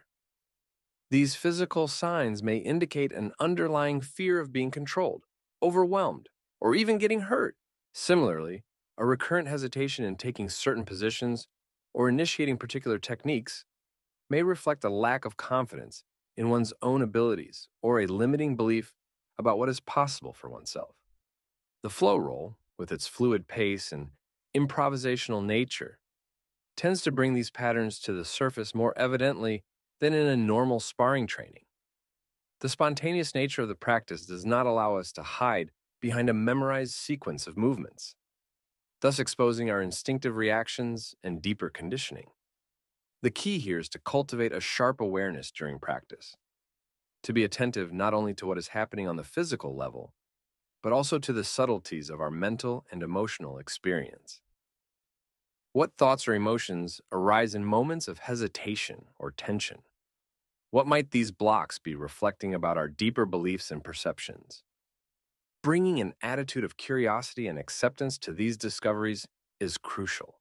It's not about judging or criticizing oneself, but rather recognizing these patterns as valuable opportunities for growth and transformation. As we develop this awareness, the flow roll becomes a living laboratory for identifying and working with our psychological blocks Each moment of hesitation becomes an invitation to look inward, to question the beliefs that limit us, and to embrace a more expansive view of our potential. Using the flow roll to overcome mental barriers. The first step is to cultivate an attitude of acceptance and curiosity towards the blocks that arise. Instead of judging them or trying to suppress them, we are invited to welcome them with openness and compassion. This conscious welcoming in itself already begins to dissolve the rigidity of these patterns. From this space of acceptance, we can then bring a gentle questioning. What is this fear or limiting belief trying to teach me? What is the underlying need that this tension is expressing?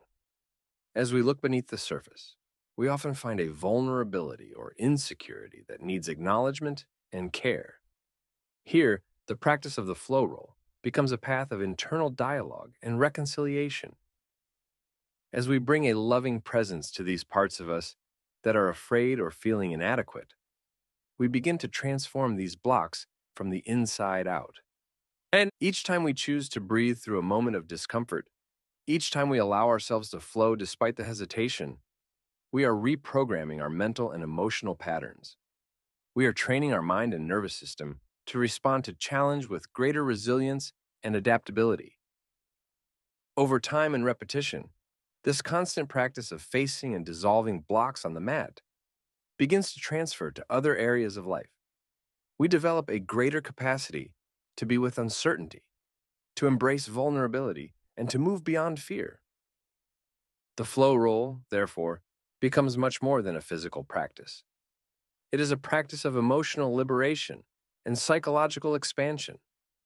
Each moment on the mat becomes an opportunity to free ourselves from old patterns and open up to new possibilities of being and living in the world. The flow roll and the cultivation of serenity. As we practice flow, rolling with the intention of identifying and dissolving psychological barriers, something fascinating begins to happen. Gradually, the moments of tension and hesitation become less frequent and less intense. The flow of the practice becomes smoother, more continuous, like a river finding its natural path through the landscape. This growing fluidity is a direct reflection of the serenity that begins to permeate our minds. As the layers of fear, doubt, and resistance are dissolved through conscious practice, what emerges is an increasingly stable and unshakable state of presence. On the mat, this serenity manifests as an ability to move with one's partner in harmony, spontaneously responding to each shift in energy and position. There is no longer a need to control or force situations, only the continuous dance of giving and receiving, leading and following.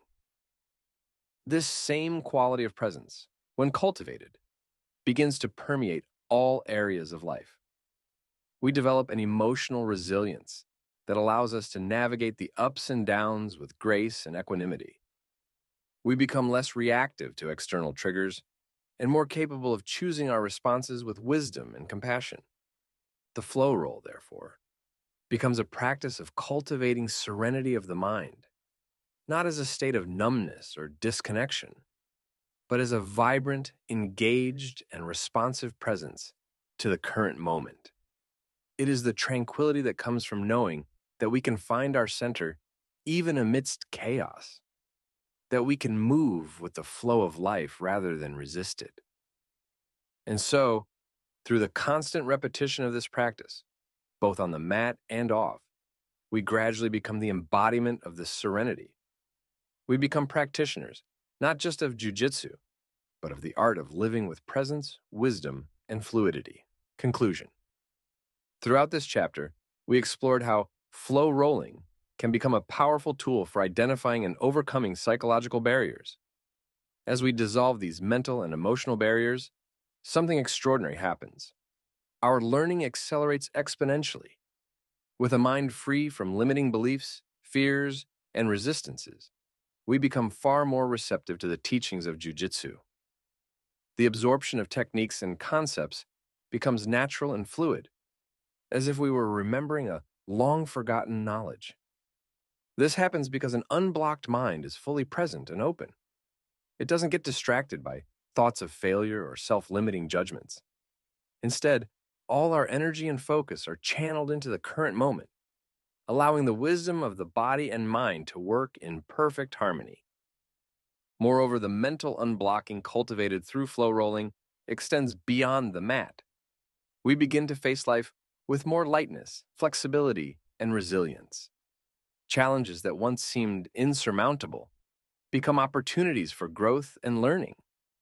Therefore, as you incorporate the practice of flow, rolling into your routine, be attentive to these subtle yet profound transformations in your learning process. Celebrate each layer of tension that dissolves, knowing that you are not only becoming a better practitioner, but also evolving as a human being. Stay open, receptive, and anchored in the present moment. With a free mind and a dedicated heart, your progress in jujitsu and in life will be truly remarkable. Practical exercises 2. Deepen the flow roll. In this section, we will present a series of exercises and practices designed to deepen your exploration of the flow roll. Each of these activities addresses a different aspect of the flow state, from cultivating sensitivity and connection to developing creativity and fluidity of movement. By incorporating these exercises into your training routine, you will be fine tuning your bodily, mental, and emotional instrument to tune into the subtler frequencies of flow you will be planting the seeds for the flow experience to become not just an occasional peak, but a consistent and accessible state of being. Remember, mastery of the flow roll is a path, not a destination.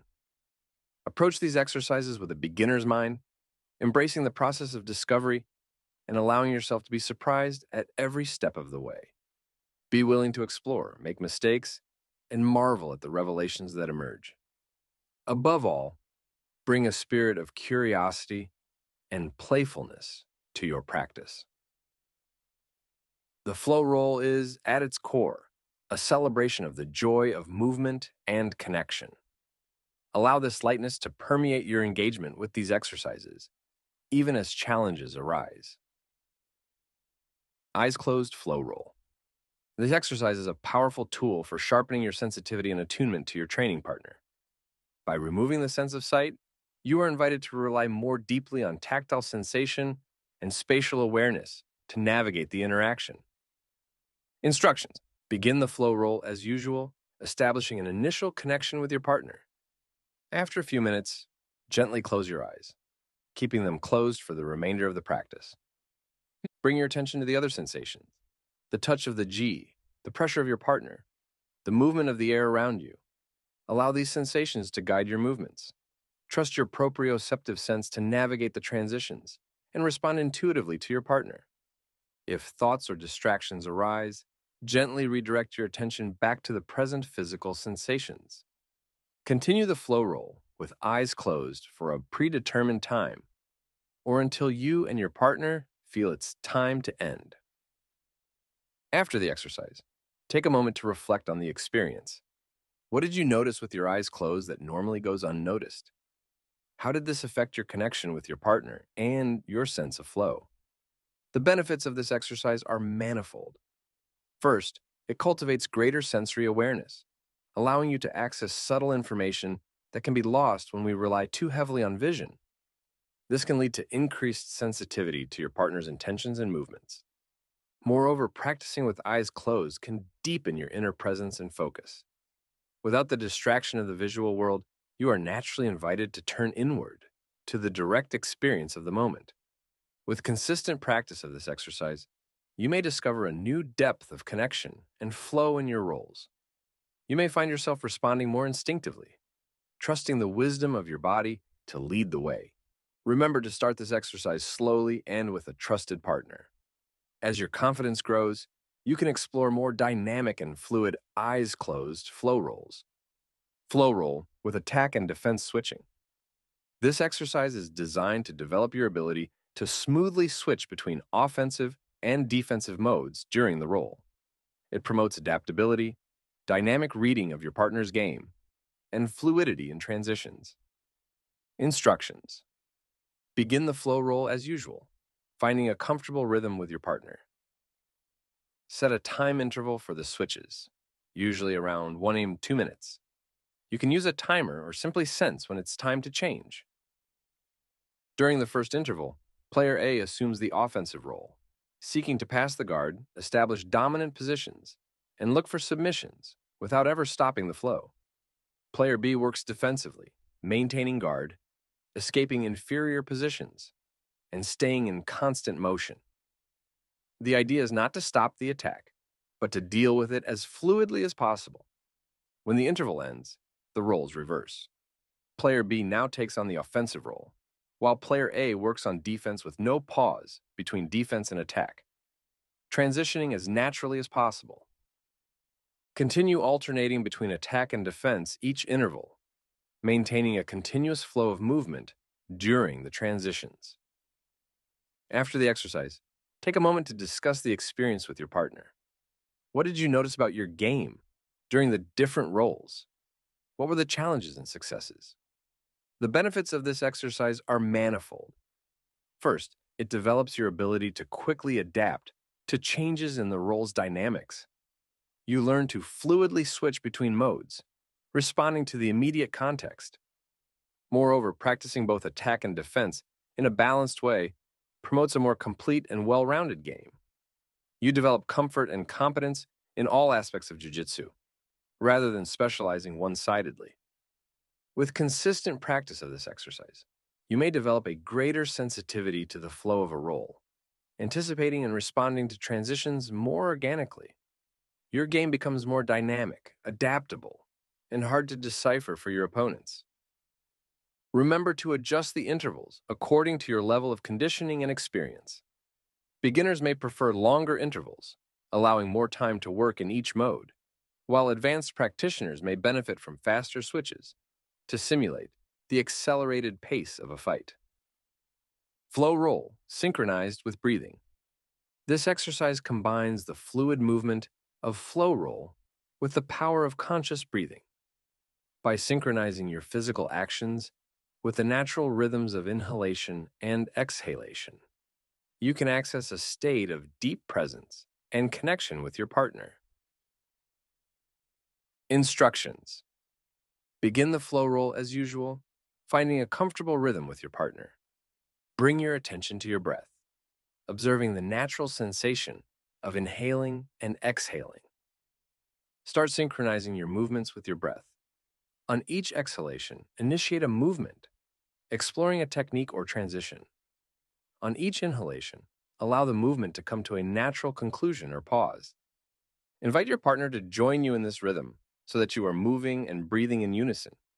Continue this pattern of movement and breath for several minutes, allowing an organic flow to emerge. If you find yourself holding your breath or forcing movements, gently bring your attention back to the natural rhythm of the breath, allowing it to guide the roll. The benefits of this exercise are profound and multifaceted. First, by bringing conscious awareness to the breath, you are automatically bringing your mind into the present moment. This helps to dissipate mental distraction and cultivate a state of serene focus. Moreover, synchronizing movement with breath creates a sense of rhythm and harmony within the roll. Rather than separate activities, the act of breathing and the act of moving become an integrated, fluid process. Finally, when both you and your partner are engaged in this exercise, a deep sense of connection and synchronicity can emerge. It's as if you are participating in a shared dance where one person's movement seamlessly merges with the other's. Remember not to force or control the breath. The goal is not to breathe in a specific way, but rather to allow the natural breath to express itself and inform your movements. With consistent practice of this exercise, you may discover a new dimension of fluidity and connection in your flow roll the breath becomes a powerful ally, anchoring you in the present moment and allowing the spontaneous play of jujitsu to unfold. Chess training. This exercise challenges you to approach the flow roll with a strategic, calculated mindset, similar to a game of chess. By alternating between deliberate moves and pauses for analysis, you develop your ability to think tactically and respond with intention and precision. Instructions Have your partner assume a guard position while you start in a passing position.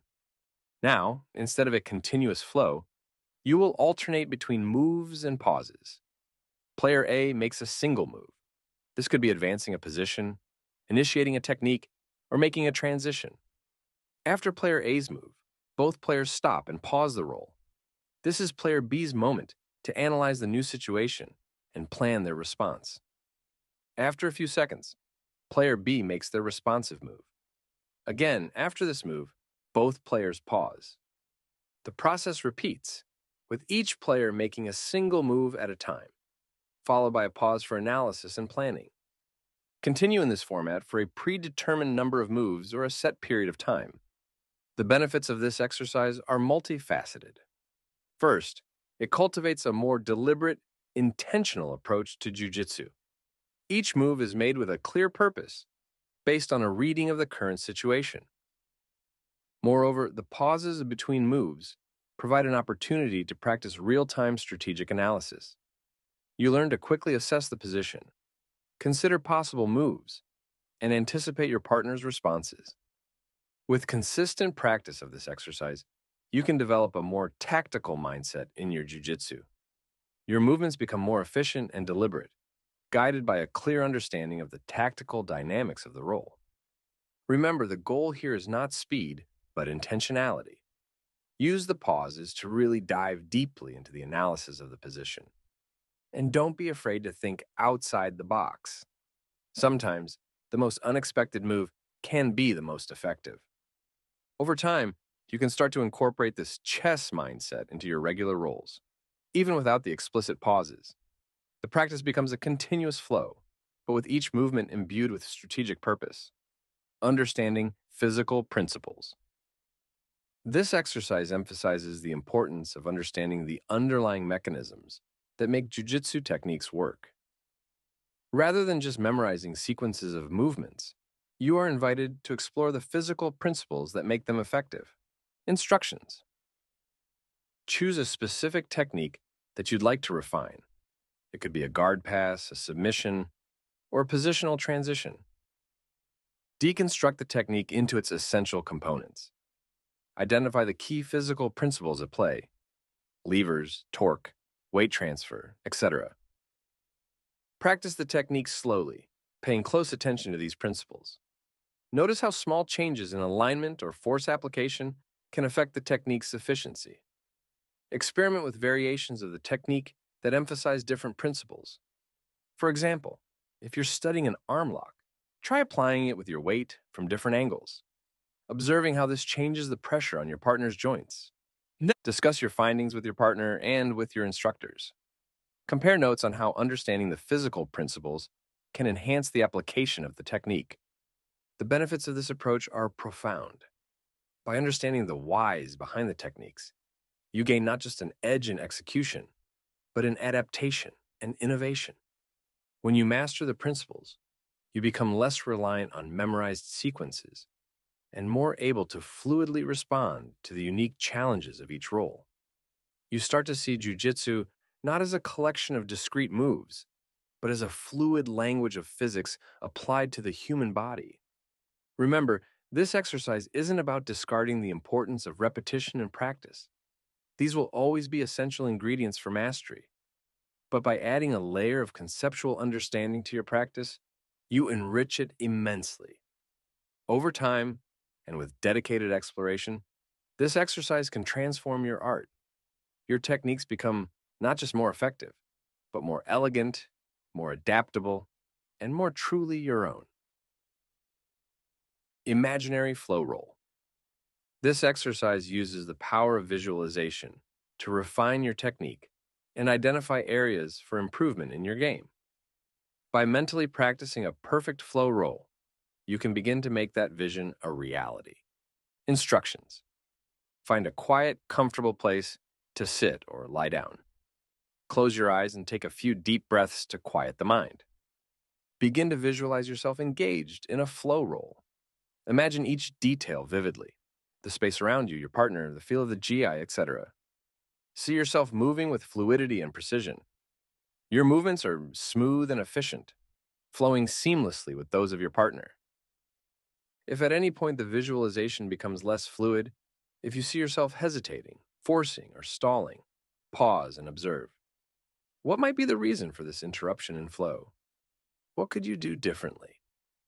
After identifying the issue, mentally rewind the scene and see yourself approaching the situation in a new way. Repeat until flow is restored. Continue the mental flow roll for several minutes, or until you've navigated through a variety of positions and transitions.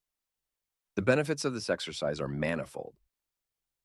First, mental practice has been shown to be nearly as effective as physical practice in skill enhancement. By repeatedly visualizing perfect techniques and transitions, you are training your brain and body to execute them. Moreover, the imaginary flow roll offers a unique opportunity to identify and troubleshoot issues in your game. In visualization, you can freeze, rewind, and repeat moments at will, a luxury we don't have in a live roll. With consistent practice of this exercise, you can start to notice a significant transfer from your mental practice to your physical practice. Your movements will become smoother, your decision making more instinctive, and your overall sense of flow deeper. Remember, the key to effective visualization is vividness and detail. Really see, hear, and feel yourself executing the techniques. The more real you make the experience in your mind, the more powerful the effect will be. Solo Flow Roll Training. This exercise takes the principles of flow roll into your solo practice, allowing you to refine your technical and bodily fluency even without a partner. Instructions Find an open space where you can move freely. Start on your knees or standing as you prefer. Begin moving as if you were engaged in a flow roll, initially in slow motion.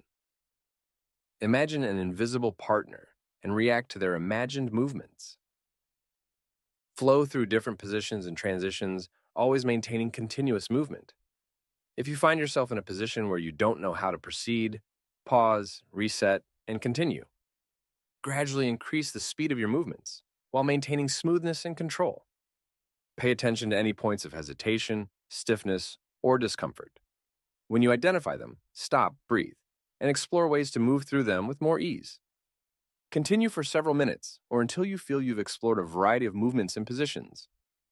The benefits of solo flow roll practice are manifold. First, it allows you to practice movement fluency without the distractions or pressures of working with a partner. You can really focus on your own sense of flow and identify any personal blockages.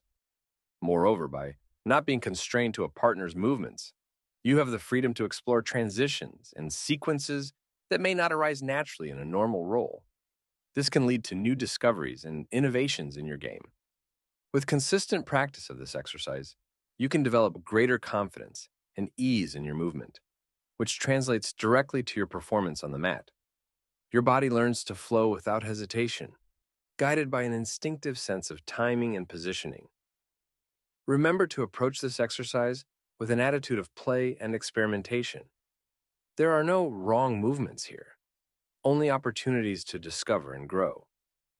If you find yourself getting frustrated or self critical, take a deep breath and return to a state of relaxed curiosity. So find an open space, tune into your body, and embark on this solo exploration journey. You may be surprised at the wisdom and creativity that reside within your own movement. Being a good training partner is essential for mutual growth in Jiu Jitsu. Just as a boxing partner who holds the focus mitts right. Our role is to provide the appropriate resistance and feedback for our colleague to execute techniques with fluidity and confidence. This is especially important when we are training specific movements. In these moments, we are not trying to win against our partner, but rather to collaborate for the technical improvement of both. By offering the right amount of opposition, we allow our partner to feel the proper mechanics of the technique and make the necessary adjustments. However, it is equally important to avoid the opposite extreme of being overly passive or complacent partners. a little resistance and unpredictability is crucial to simulate the variations encountered in real fighting situations. The key is to find the balance, graduating our response according to our partner's skill level and goals. Beyond the physical aspect, being a good partner involves cultivating a mental attitude of generosity, patience, and empathy on the mat. Recognizing that each person is on their own unique learning journey allows us to offer more personalized and effective support. Therefore, the next time you are training specific techniques, remember the boxing focus mitt analogy. Ask yourself, how can I hold my partner's focus mitts today? How can I provide the ideal conditions for their growth and discovery? By making Jiu-Jitsu a practice of mutual support, we elevate not only our individual skills, but the collective spirit of the art. Chapter 6 Diving into the Unknown The flow roll as an inner mirror, the journey of self knowledge through the flow roll. Up to this point, we've explored the fundamentals of flow jujitsu, from its basic principles to the techniques for cultivating a state of presence and fluidity on the mat. We've seen how this practice can help us break limiting beliefs, develop a growth mindset, and form new habits that support our evolution. Now, I invite you to embark on an even deeper journey, a journey into yourself. In the previous chapters, we touched on the surface of the transformative potential of the flow roll. But to truly harness this practice as a vehicle for self knowledge, we need to be willing to dive into the depths of our being this dive requires courage. It requires a willingness to face aspects of ourselves that we may have avoided or denied.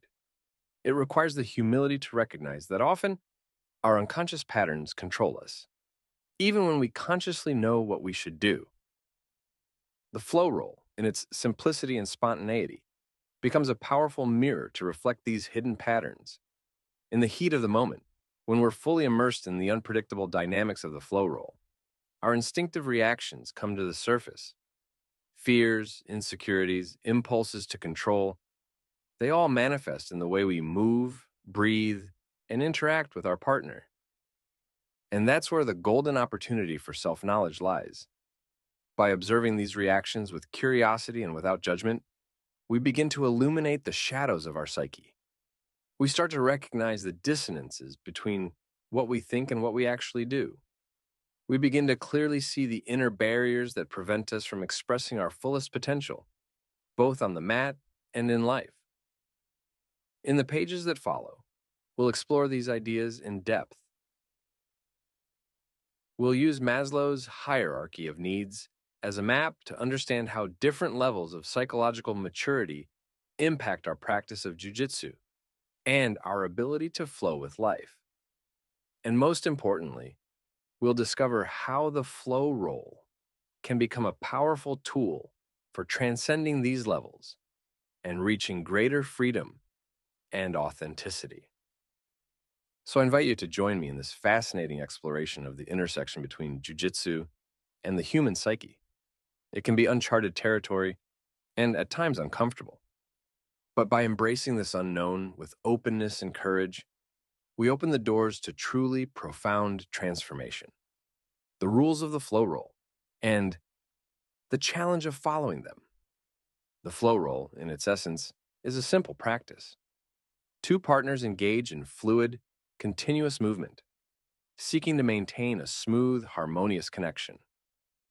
The goal is not to win over the other, but rather to explore and expand the possibilities of movement in sync while always seeking progression in the inherent positions of the fight.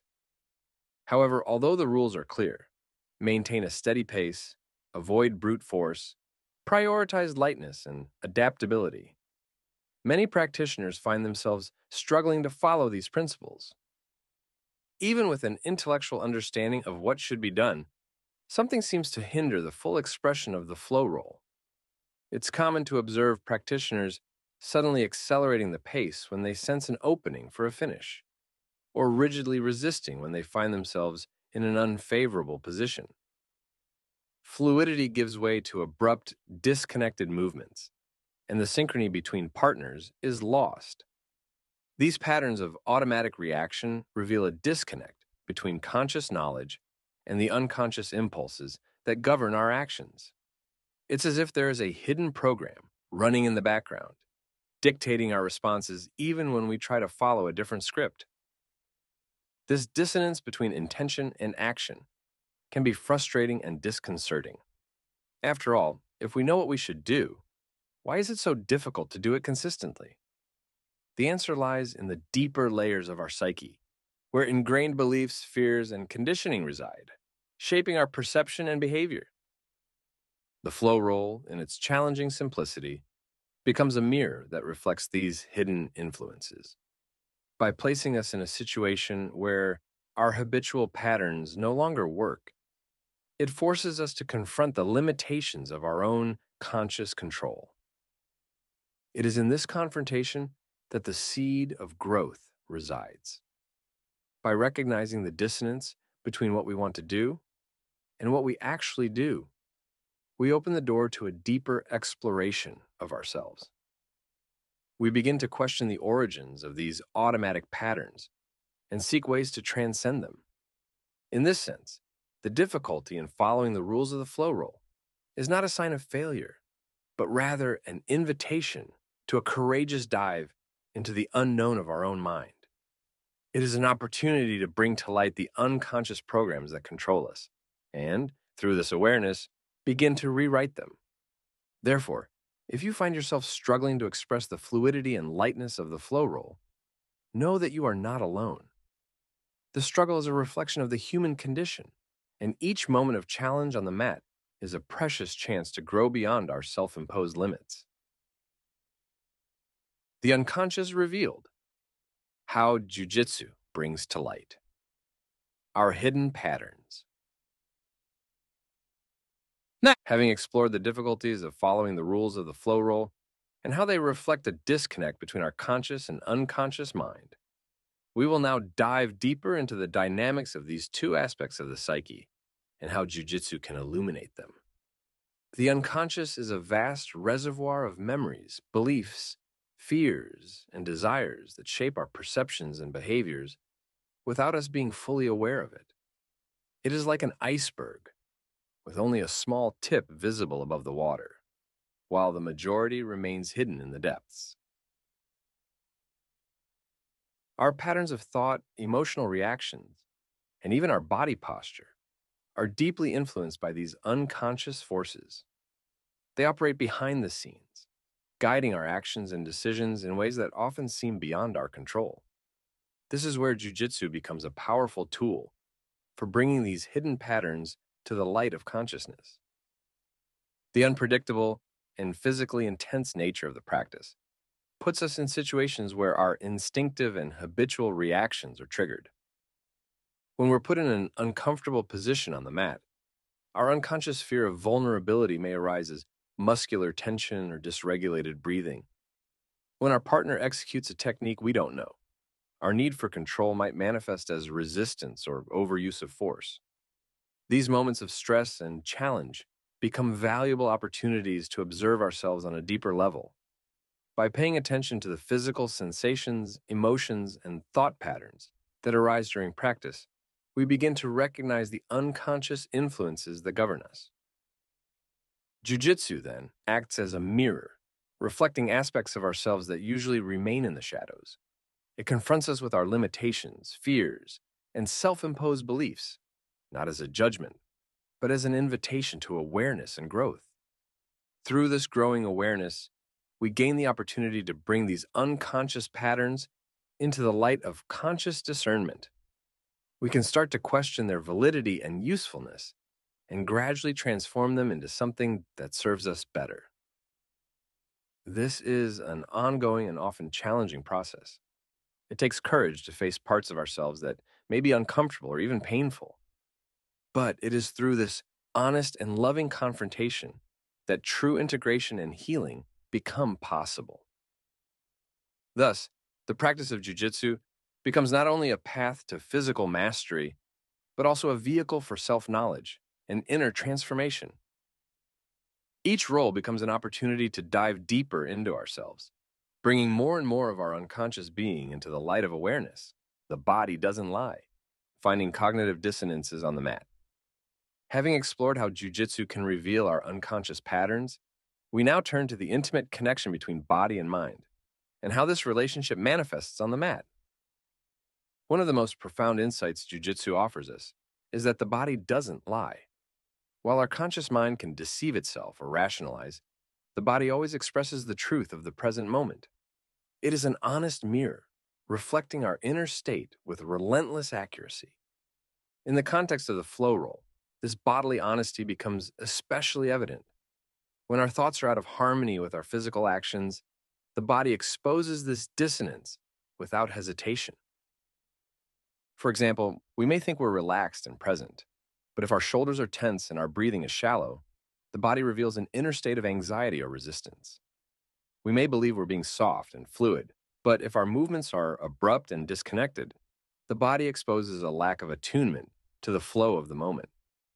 These cognitive dissonance, the gaps between what we think and what's actually happening, are valuable opportunities for self knowledge. They invite us to look beyond the stories we tell ourselves and face the reality of our present experience. The mat, then, becomes a laboratory for exploring and reconciling these dissonances. Through attentive practice and deep listening to the body, we begin to align our conscious mind with our embodied experience. This process of alignment requires a commitment to honesty and humility. It requires a willingness to recognize when our ideas about ourselves don't match reality and the courage to embrace the truth, even when it challenges our self image.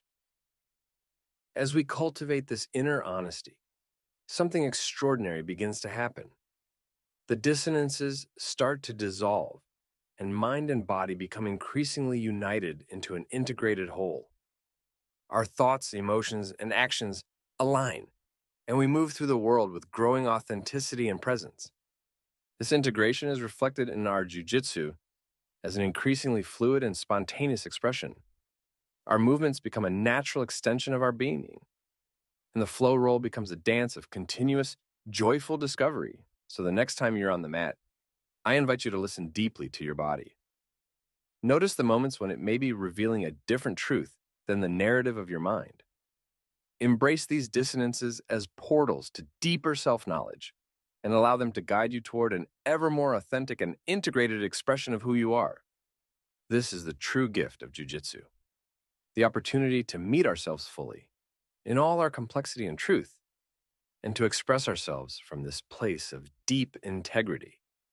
And it's in this expression that the flow truly begins to flow, on and off the mat. Understanding our journey, Maslow's hierarchy in the dojo.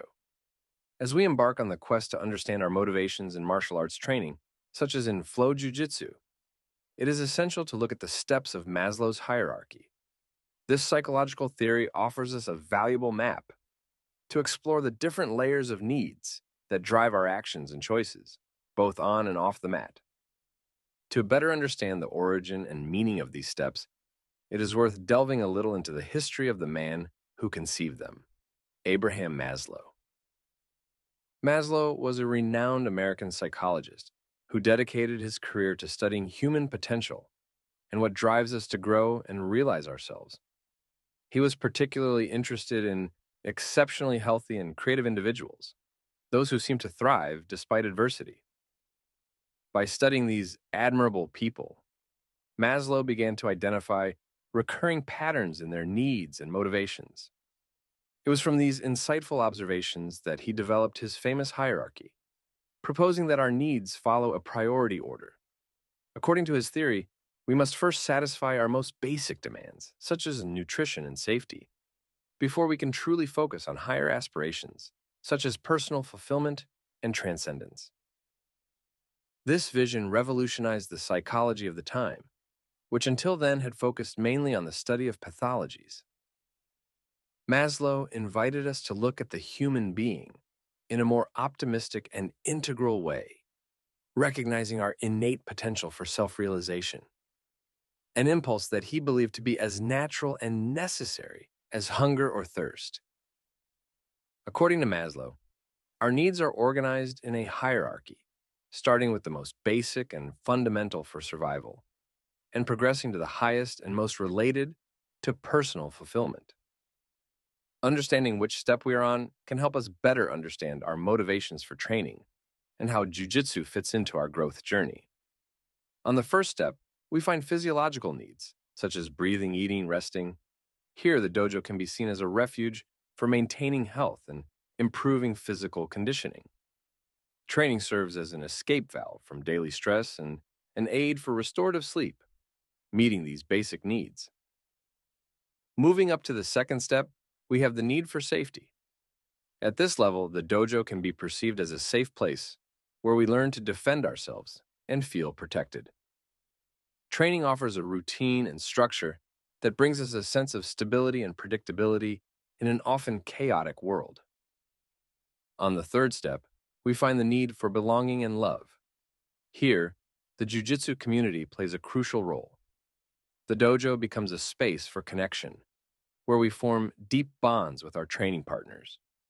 We feel part of something greater, a family united by shared values and passions. As we climb up the hierarchy, we reach the fourth step, related to esteem and recognition. At this stage, Jiu-Jitsu becomes a tool for building self-confidence and a sense of accomplishment.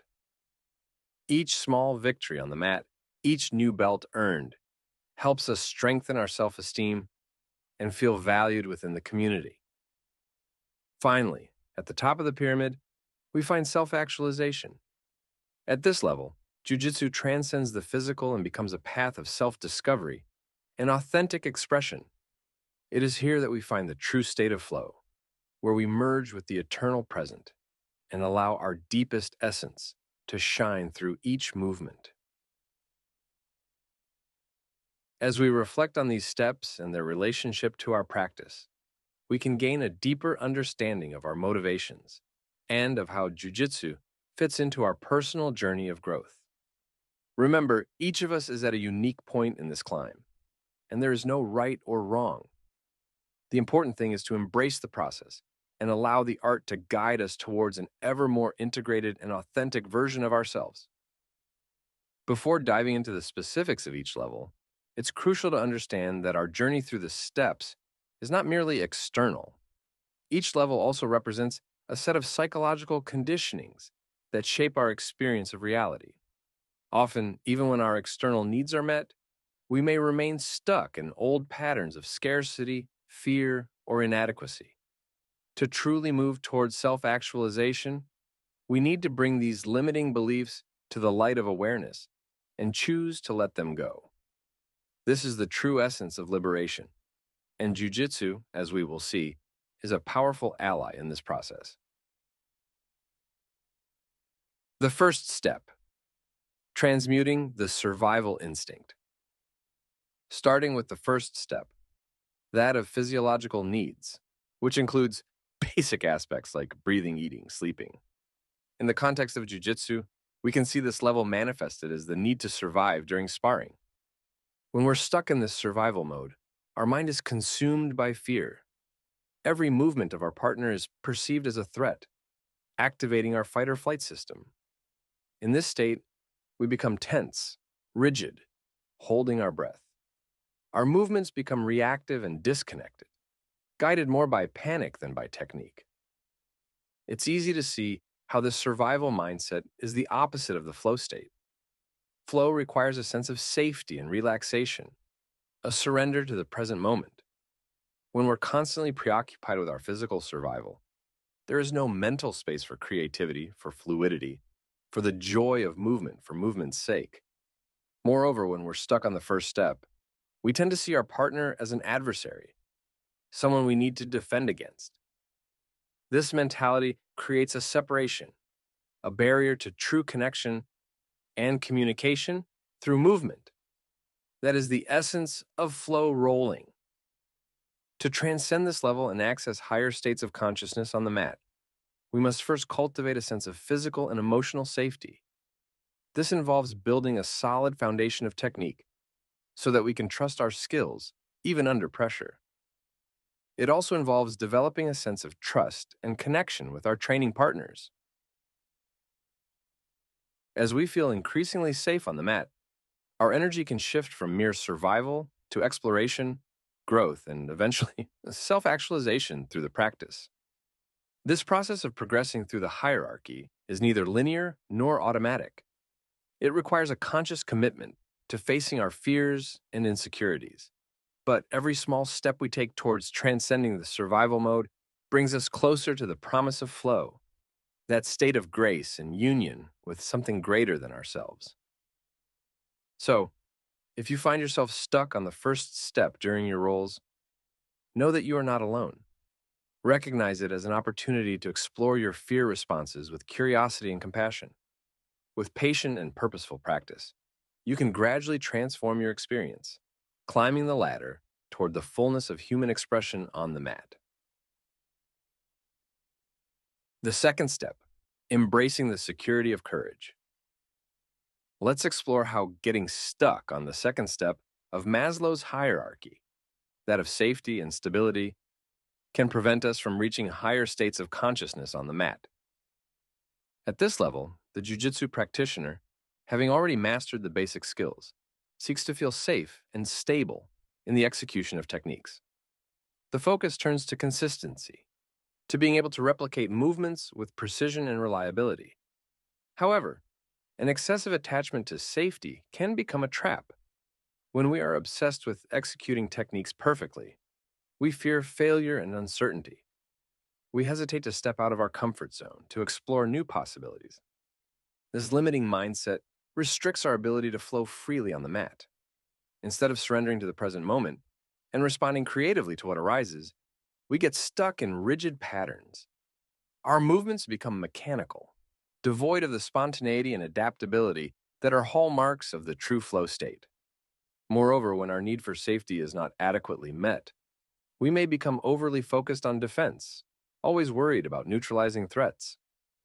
This defensive mentality creates tension and blocks our ability to authentically connect with our partner. To transcend this step and access deeper states of presence and flow, we need to cultivate a new kind of security. Not the security of perfection or control, but the security that comes from trusting the process, from embracing uncertainty as an opportunity for growth. This requires a detachment from specific techniques and a greater focus on fundamental principles. It requires a willingness to experiment, to make mistakes and learn from them. Above all, it requires a shift in mindset from trying to impose our will to becoming permeable responsive to the dynamic flow of the roll. As we become familiar with uncertainty, as we allow ourselves to be moved rather than always trying to control, we begin to touch the deeper layers of flow. Our movements become more fluid, more intuitive. We start to experience moments of union with our partner, where the separation between I and other dissolves. This is the promise of jujitsu, when we transcend the attachment to external security and cultivate a deep inner security. It is an invitation to face our fears, to embrace the unknown with courage and curiosity. And it is through this process of letting go, of surrendering to the moment, that the higher possibilities of the art begin to unfold. The third step weaving connections on the mat of life.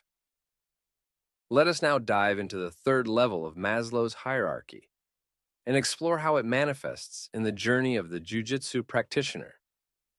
At this level, we find the social needs, the needs for love and belonging. Here, the mat becomes much more than a physical space. It is a fertile ground for the blossoming of deep human connections. In the context of jujitsu, this longing for belonging translates into the camaraderie and solidarity that emerges among practitioners in the dojo. Through shared fights and training sessions, powerful emotional bonds are forged. The sweat, the laughter, the challenges overcome together. All of this contributes to the creation of a chosen family, united by a common passion. However, when we become excessively attached to this need to belong, we can find ourselves stuck on this step. The desire to be accepted and loved can lead us to compromise our authenticity to mold our identity to fit the group's expectations. We can become dependent on external approval, fearing rejection to the point of sacrificing our individual growth. On the mat, this attachment can manifest as a hesitation to take risks, to explore new paths for fear of disappointing our companions. We can become complacent, satisfied to remain within the boundaries of what is familiar and comfortable for the group. To transcend this level and access higher states of consciousness, it is necessary to cultivate a sense of belonging that does not depend on external conformity. It's about finding security and acceptance within ourselves so that we can relate to others from a place of fullness rather than lack. In Flow Jiu Jitsu, this means embracing our individuality, honoring our unique voice, even when it diverges from the norm. It means being brave enough to be vulnerable, to reveal our struggles and insecurities, knowing that our value is not conditioned on others' approval. As we cultivate this radical self acceptance, our experience of belonging transforms. Instead of a desperate need, it becomes an expression of interdependence, a recognition of our inherent connection with all beings, transcending the boundaries of the dojo. In this state, we become truly free to flow with others on the mat. Our flow rolls become a spontaneous dialogue, a co creation born of mutual trust and respect. Through this freedom, we achieve a sense of unity that is at once deeply personal and greater than any individual. Therefore, if you find yourself longing for love and belonging in your jujitsu journey, know that you are not alone. Embrace this desire as a doorway to deeper self exploration. As you nurture acceptance and love within yourself, your ability to authentically connect with others will naturally blossom. And it is in this flower of genuine connection that the seeds of true flow begin to sprout. Often driven by the deep desire to belong, we end up perpetuating attitudes and behaviors that are not aligned with our most intimate principles. In the eagerness to be accepted and valued by the Jiu Jitsu tribe, we run the risk of sacrificing our individuality, shaping ourselves to fit an external ideal. It's a subtle process, almost imperceptible. Gradually, we take on the tastes, opinions, and mannerisms that we perceive as valued by the group. We put on a mask, playing a character that we believe others expect from us. But in doing so, we distance ourselves from our authentic essence. The mat, as a microcosm of life, is fertile ground for this dynamic. Surrounded by figures we admire, be they instructors or more experienced colleagues, it is tempting to model ourselves in their image and likeness. We absorb their techniques, their fighting style, even their posture outside the dojo, in the hope of gaining their approval and respect. However, this path inevitably leads to a sense of disconnection and dissatisfaction. After all, we are living someone else's life, not our own. We are striving to fill a mold that was not made for us, denying the unique expression we have to offer the world. The key to transcending this step is to cultivate the courage to be authentic, even in the face of possible rejection.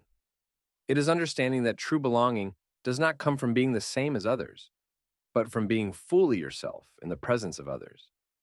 It's about bringing your whole being to the mat, with your vulnerabilities, your unique humanity. When we allow ourselves to be seen in this way, something extraordinary happens. We discover that the acceptance we so crave is already within us. We no longer need to contort ourselves to gain the approval of others because we are at peace being exactly who we are. And, paradoxically, it is in this state of authenticity that the deepest and most genuine connections are formed. In Flow Jiu Jitsu, this translates into finding your own voice on the mat. It's about absorbing techniques and principles, yes, but filtered through the lens of your own experience, your own body, your own understanding. It's about fully surrendering to the moment without the concern of how you are being perceived. In this state of authentic presence, something magical unfolds. Your movements become a spontaneous expression of your deepest truth. Each flow roll becomes a unique dance, co created in the space between you and your partner. And, through this courageous expression of individuality, you paradoxically touch something universal the shared essence that connects us all beyond the masks of the ego. So, if you find yourself stuck on this third step, playing a role in search of belonging, remember that you are not alone. Have compassion for yourself, for the desire for connection is deeply human. But also have the courage to let go of the masks, layer by layer, revealing the raw beauty of who you are. For it is only by embracing our individuality that we can hope to touch the deepest promise of jujitsu, the union of authentic beings, flowing together in an expression of something greater than any one of us. This is true belonging, and it is available to you the exact moment you commit to being nothing more and nothing less than who you are. The fourth step conquering self esteem through dedicated practice. Let's explore the fourth step of Maslow's hierarchy and its manifestation in the journey of the jujitsu practitioner. At this level, we find the needs of esteem, which involve both self respect and recognition from others. In the context of jujitsu, this step is intimately related to the pursuit of technical excellence and personal growth. As the practitioner dedicates themselves diligently to improving their skills, they naturally develop a sense of pride and accomplishment. Each small victory on the mat, each new technique mastered, contributes to building a solid self esteem. At the same time, recognition from professors and colleagues plays a significant role at this stage. When the practitioner's progress is noticed and celebrated by those around them, it reinforces their sense of worth and belonging within the jujitsu community. However, it is crucial that the practitioner be aware of the pitfalls of this step.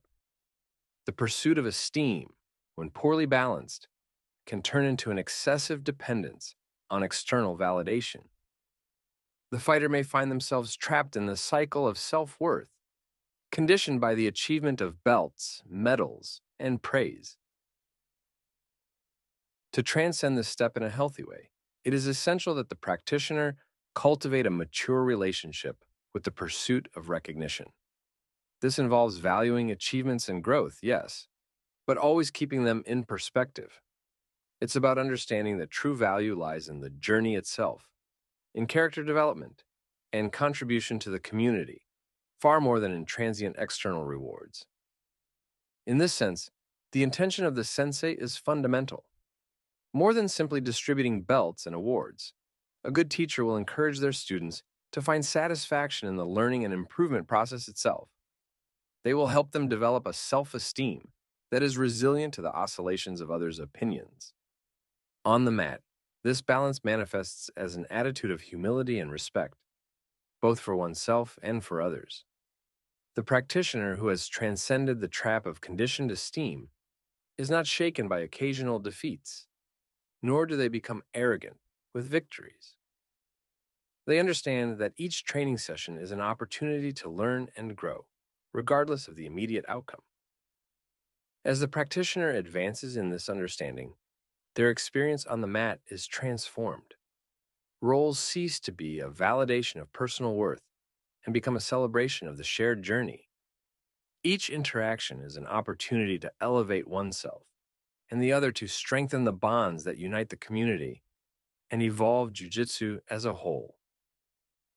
It is a call to transcend the pursuit of external recognition and find an inexhaustible source of value and respect within oneself. It's about approaching the art with excellence and dedication, yes, but always with the understanding that the true reward lies in the growth and human connection cultivated along the way.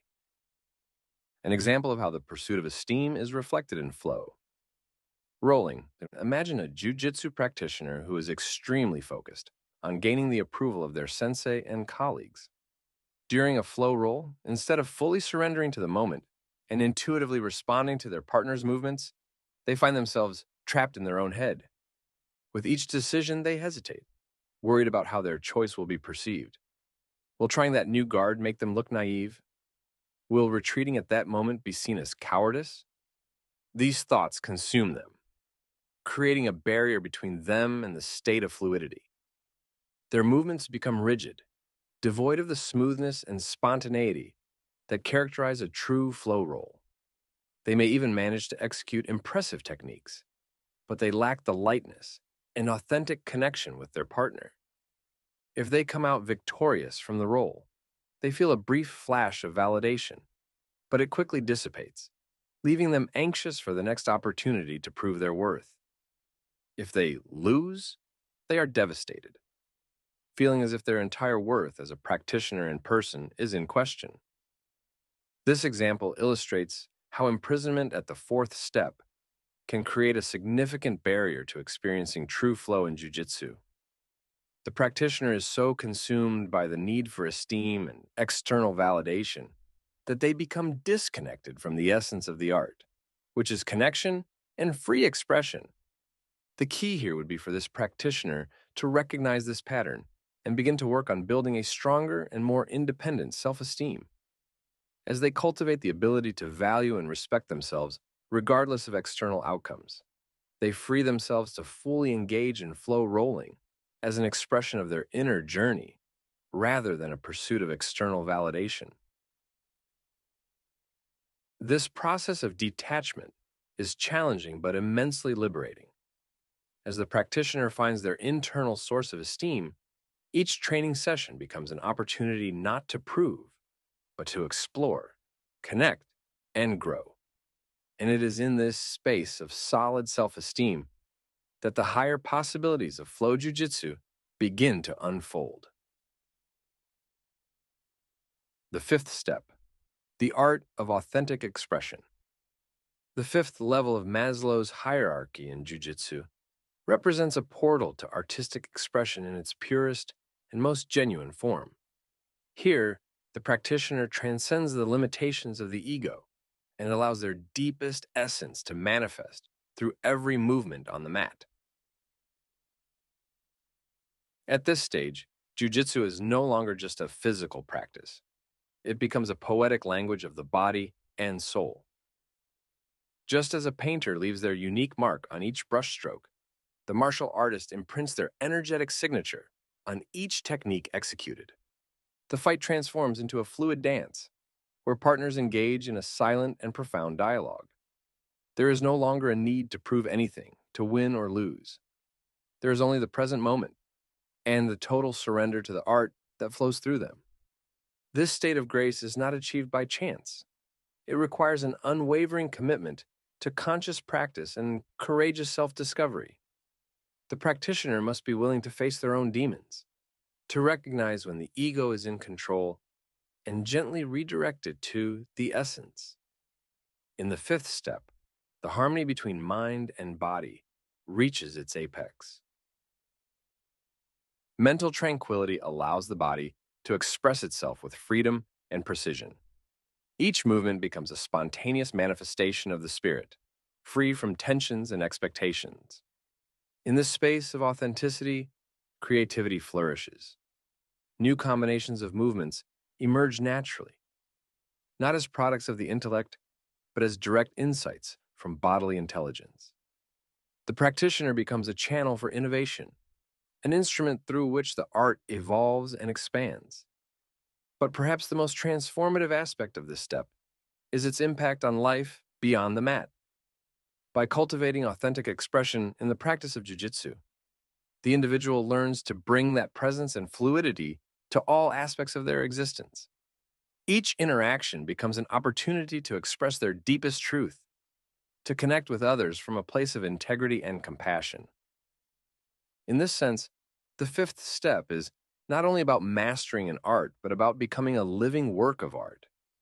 It's about sculpting oneself moment by moment, using practice as a chisel to remove everything superfluous and reveal the raw beauty that resides at the core of being. Therefore, the invitation of the fifth step is a call for the courage to be authentic, for total surrender to the art that animates our existence. It's a reminder that when we allow ourselves to be truly seen and expressed, we touch something universal and timeless. In this space of vulnerability and connection, we transcend the limits of individuality and become part of a larger tapestry, the infinite art of life unfolding. The sixth step transcendence, service, and the expansion of consciousness. In the sixth step of the Flow Jiu Jitsu hierarchy, we enter the domain of transcendence, where the individual journey merges with the collective purpose. Here, practice becomes a vehicle for expanding consciousness and serving humanity. The practitioner who has reached this level has transcended the limitations of the ego and awakened to a greater reality. They understand that their personal evolution is intrinsically linked to the evolution of everyone around them. Each interaction on the mat becomes an opportunity to elevate consciousness, to inspire and be inspired. The wisdom acquired over years of dedication to the art becomes a treasure to be shared. The master of flow jiu-jitsu assumes the role of a mentor, guiding their students not only in technique, but on the path of inner transformation. They become a living example of the principles they teach, emanating presence, compassion, and wisdom. At this stage, the practice transcends the physical, reaching the realms of the psychological and the spiritual. Flow Jiu-Jitsu reveals itself as a powerful metaphor for life. Each challenge on the mat becomes an opportunity to cultivate inner peace, resilience, and adaptability. The lessons learned in the art overflow into all aspects of existence. The sixth degree is also characterized by a profound pursuit of harmony and balance. The practitioner understands that their well being is intertwined with the well being of their community and the world as a whole. They strive to create an environment where all can flourish, where competition gives way to cooperation and mutual growth. Here, the flow roll reaches its highest expression. It is no longer just a physical training, but a dance of connection and shared evolution. Partners engage in a silent dialogue, each movement imbued with intention and purpose. The boundaries between self and other dissolve, revealing the fundamental interconnectedness of all life. Incorporating the sixth degree into Maslow's hierarchy is to recognize that human potential does not end with self actualization. It is a call to go beyond ourselves, to embrace our responsibility as guardians of collective consciousness. Through service and dedication to something greater, we find the true meaning and purpose of our existence. The sixth degree invites us to a practice of presence, wisdom, and compassion both on the mat and in life. It is a reminder that as we evolve individually, we have the opportunity and responsibility to elevate all of humanity with us. And it is through this commitment to personal and global transformation that we realize our highest potential as practitioners and as human beings. As we walk through the degrees of Maslow's hierarchy, we see that flow jiu-jitsu is much more than a physical practice. It is a path of profound personal evolution. Each degree invites us to transcend our limitations, face our fears, and reconnect with our most authentic essence. From the transmutation of the survival instinct to the construction of an unshakable self esteem, the warrior's journey is full of challenges and rewards. And the most beautiful thing is that this journey never ends. There are always new levels of consciousness to be explored new layers of our psyche to be integrated. As we explore the degrees of Maslow and their manifestation in the jujitsu journey, it is crucial to remember that this hierarchy is, above all, a map of the human psyche. Although our external circumstances certainly influence our ability to satisfy certain needs, ultimately, it is our mental posture that determines which degree we reside in. This means that, regardless of our current situation, we always have the opportunity to choose a higher perspective. The moment we consciously decide to embrace courage over fear, connection over isolation, growth over stagnation, we begin the journey to the next level. Of course, this transition is rarely instant or easy. It requires deep self honesty, a willingness to confront the shadows of the ego, and an unwavering commitment to one's own evolution. But one thing is certain the instant we make that change internally, our external reality begins to realign. Indeed, Maslow's degrees are more psychological than objective. It is perfectly possible for someone to be on the safety degree in material terms, but feel trapped in survival emotionally. Think of a millionaire who lives obsessed with the idea of losing everything he has achieved. Even having much more than necessary to survive, he operates from a scarcity and fear mentality. Psychologically, he is as trapped as someone struggling to put food on the table. On the other hand, how many people do you know who have little in financial terms, but radiate a sense of abundance and gratitude? They have understood that true wealth lies in the quality of our inner experience, not in the number of zeros in the bank account. The same goes for other levels. Someone may have a legion of friends on social media, but feel totally disconnected and lonely inside. Or they may have just a handful of deep, authentic relationships and feel loved and belonging. You see, I'm not saying external circumstances don't matter. Of course, we need to take care of our basic needs. But the fundamental point is this our ultimate freedom lies in our ability to choose our attitude in the face of any situation. Viktor Frankl, the psychiatrist who survived the horrors of Auschwitz, brilliantly captured this idea. He said, Everything can be taken from a man but one thing the last of the human freedoms to choose one's attitude in any given set of circumstances, to choose one's own way. So, yes, let's strive to create the external condition that support our growth and well being. But let's also cultivate the inner mastery that allows us to find peace connection, and purpose, regardless of where we are on the ladder. For in the end, the true degree of self actualization is not a destination, but a way of traveling. It is the courage to face our inner demons, the humility to embrace our vulnerabilities, the compassion to see the humanity in every being. It is the willingness to expand our consciousness, moment by moment, breath by breath. And the beauty of jujitsu, my friend, is that it gives us a tangible arena to practice these qualities. Each training is an opportunity to choose courage over fear, presence over distraction, surrender over control. And each time we make those choices on the mat, we become more equipped to make them in life. So the real lesson here is this your freedom has always been within your reach. No matter where you are on your journey, you have the power to point your inner compass to true north at any time. And every time you choose to embrace a more expansive vision of yourself, both on and off the mat, you are planting the seeds of a lasting and profound transformation. For at the end of the day, Jiu-Jitsu is not just a path to physical mastery, but to the enlightenment of the soul. And the key to unlocking your full potential has always resided within you. So, my mat companion, Embrace every stage of this process with curiosity and courage. Allow yourself to be transformed by the power of flow jujitsu, knowing that every sweatshed, every fall, and every victory contributes to sculpting the masterpiece that is your life. Onward, warrior, for the journey continues. And always remember the true opponent to overcome lies within you. Master it with compassion, wisdom, and unwavering determination. End of part one.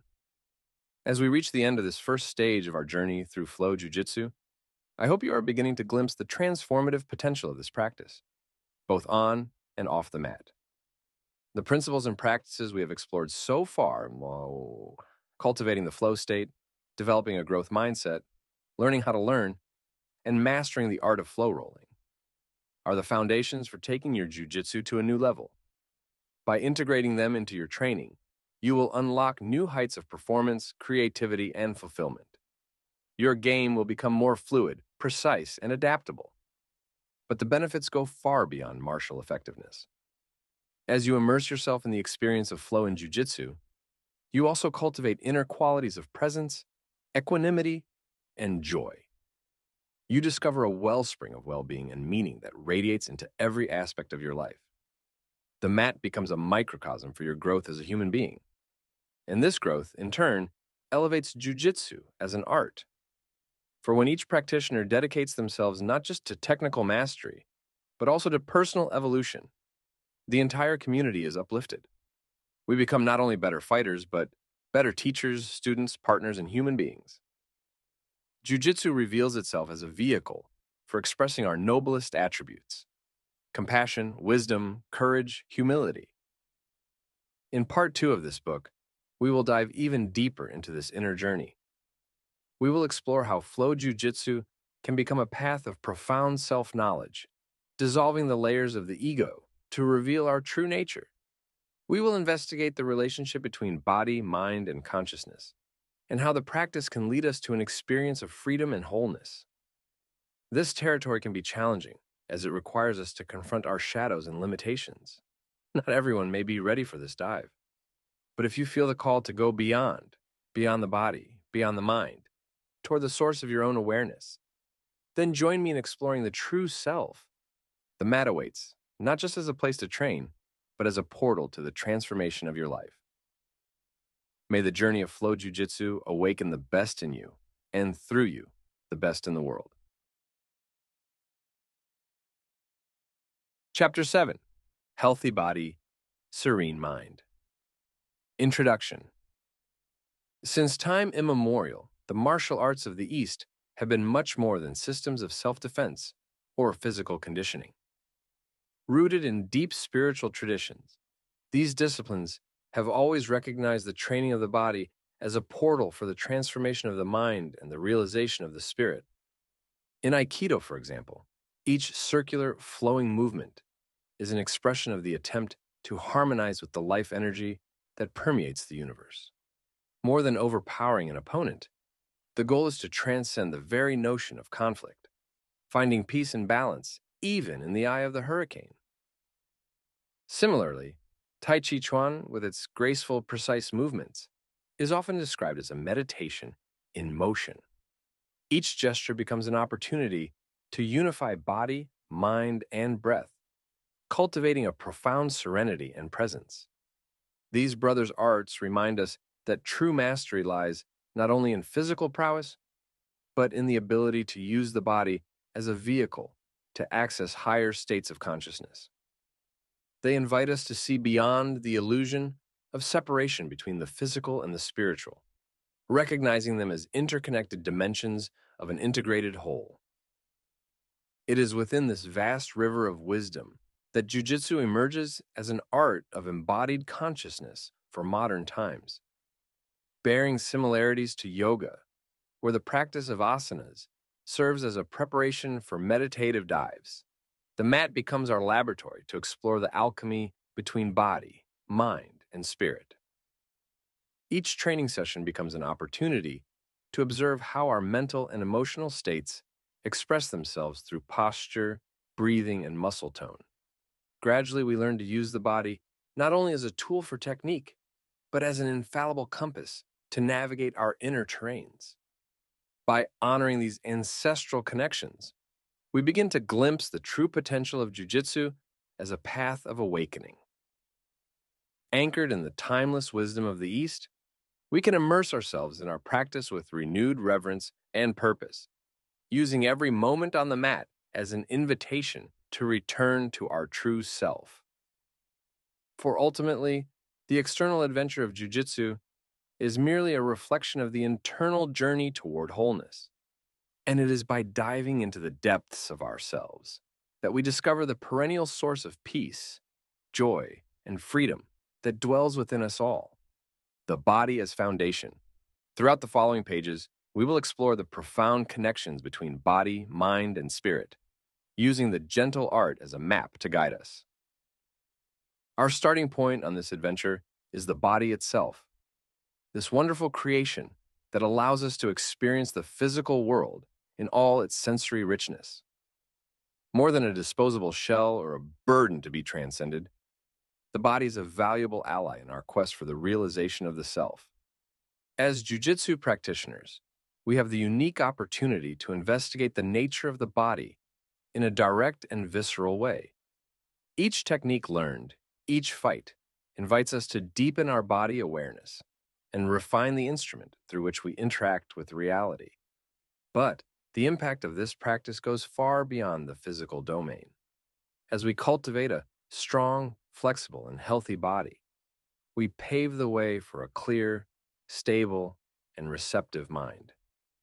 The ancient yogis already recognized this intrinsic relationship, using specific postures and breaths to induce meditative states. Similarly, a conscious practice of jujitsu has the potential to lead us to expanded states of perception. By synchronizing movement and breath, we release deep tensions and open space for transformative insights about who we really are. In the following pages, you will be invited to explore the body as a gateway to awakening. Through practical examples, philosophical reflections, and inspiring stories, we will discover how jujitsu can be an integrated path of self knowledge and self transcendence. So relax, take a deep breath, and allow yourself to dive into this investigation with a curious mind and an open heart. Together, we will explore the vast inner territories that lie hidden beneath the surface of the being, revealing treasures far beyond what the eyes can see. Healthy body, serene mind. Throughout history, various wisdom traditions have explored the deep connection between physical well being and mental clarity. In yoga, for example, postures, asanas, are used not only to strengthen and make the body more flexible, but also to quiet the mind and open the way for meditative states. Similarly, a conscious practice of jujitsu has the potential to take us beyond physical improvement, towards greater serenity and lucidity when we train with presence and intentionality, each movement becomes an opportunity to connect with the present moment and dissolve excess mental activity. The postures and transitions of jujitsu, when executed with mindfulness, have a profound effect on our physiological systems. Breathing deepens and stabilizes. Circulation becomes more fluid and the nervous system is invited to alternate between states of activation and relaxation. This internal massage of organs and tissues creates a bodily environment conducive to emotional balance and clarity of reasoning. Furthermore, the total engagement required by fighting situations invites us to put daily concerns and ruminative thoughts in the background. In this state of flow, where body and mind are perfectly attuned to the present activity. We experience glimpses of inner stillness and expanded consciousness. Not by chance, many practitioners report that after an intense training session, they feel not only physically invigorated, but also mentally light, lucid, and at peace. It is as if the sweat shed on the mat carries with it the weight of mental burdens, leaving space for a broader and more serene perspective. In this chapter, we will explore how to optimize this relationship between body health and mind hygiene through the practice of jujitsu. With specific exercises and precise guidance, you will be invited to use training not only as a tool for physical conditioning, but also as a practice of integral self improvement. Prepare to discover the immense potential that lies in the synergy between a healthy body and a serene mind. By cultivating this solid foundation, you will be paving the way for the deep and transformative insights that we will explore throughout this book. Transforming the body through breath and posture. In Jiu-Jitsu, every movement, every technique is an opportunity to bring more awareness to the body and the breath. When we pay attention to the mechanics of breathing during practice, we begin to notice the profound impact it has on our physical and mental states. Shallow and agitated breathing, for example, tends to activate the sympathetic nervous system, triggering a cascade of stress responses in the body. This can leave us tense, anxious, and more prone to making reactive decisions on the mat instead of assertive responses. On the other hand, deep and stable breathing calms the nervous system, inducing a state of relaxation and mental clarity. When we breathe in this way, we become more present, more adaptable, and more capable of responding to the demands of the fight with creativity and fluidity. Incorporating specific breathing exercises into our jujitsu practice can enhance these effects. Techniques such as diaphragmatic breathing, where we focus on expanding the abdomen with each inhalation, can be trained both during the warm up and in the intervals between fights. Over time, this deep breathing becomes a habit, a resource always available to anchor us in the present moment. In addition to breathing, posture also has a powerful influence on our internal states. The positions we assume on the mat, whether solid base, an active guard, or a stable mount, carry physiological and psychological impact. By adopting aligned and rooted postures, we send signals of safety and confidence to the nervous system. This allows us to access our inner resources more easily, making decisions from a place of centering and balance. Exploring the interface between posture and breathing, we create the ideal conditions for the body to operate in a state of optimal performance. And perhaps even more importantly, we open the doors to elevated states of consciousness during training.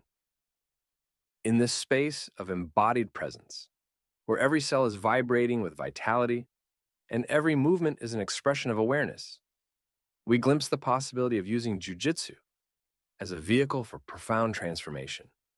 The mat becomes a sacred laboratory where the alchemy of body, breath, and mind leads us to a tangible experience of our highest potential.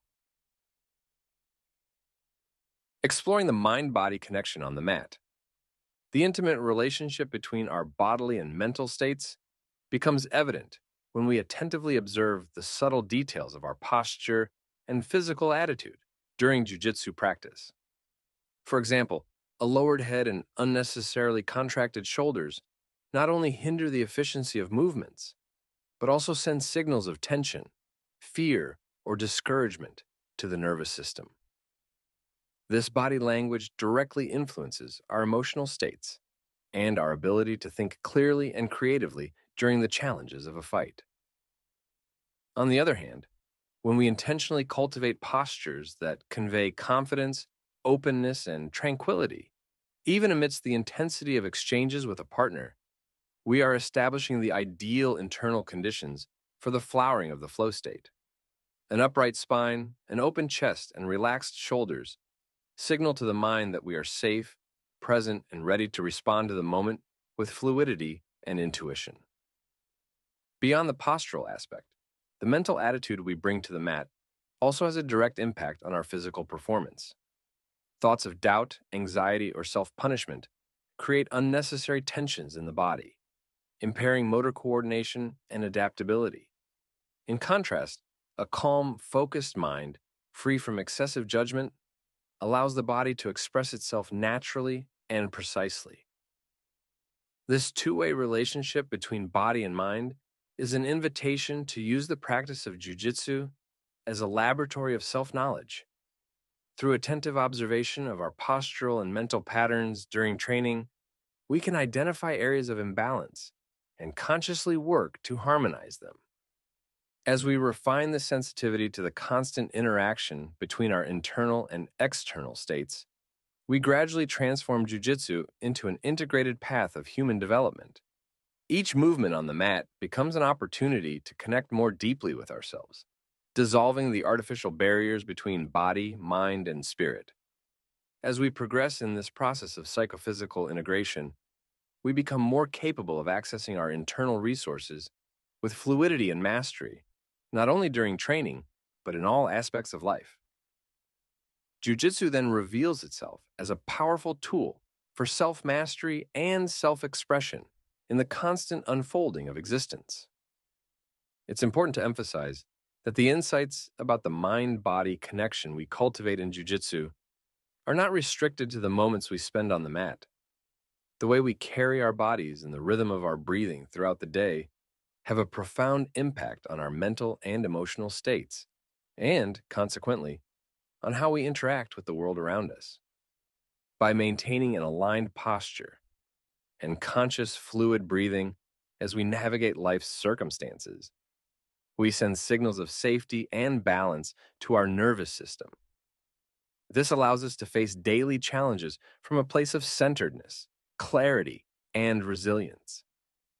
However, it's crucial not to confuse this rooted posture with constant rigidity or tension. It's not about walking around like fighters ready for combat at every second. Rather, it's a relaxed, attentive presence, a flexible availability to dance with the ever changing flow of life.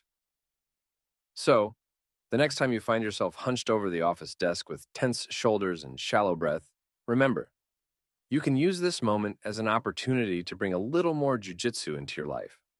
Adjust your posture, breathe deeply, and return to the only moment that truly exists, here and now the transitory nature of the body.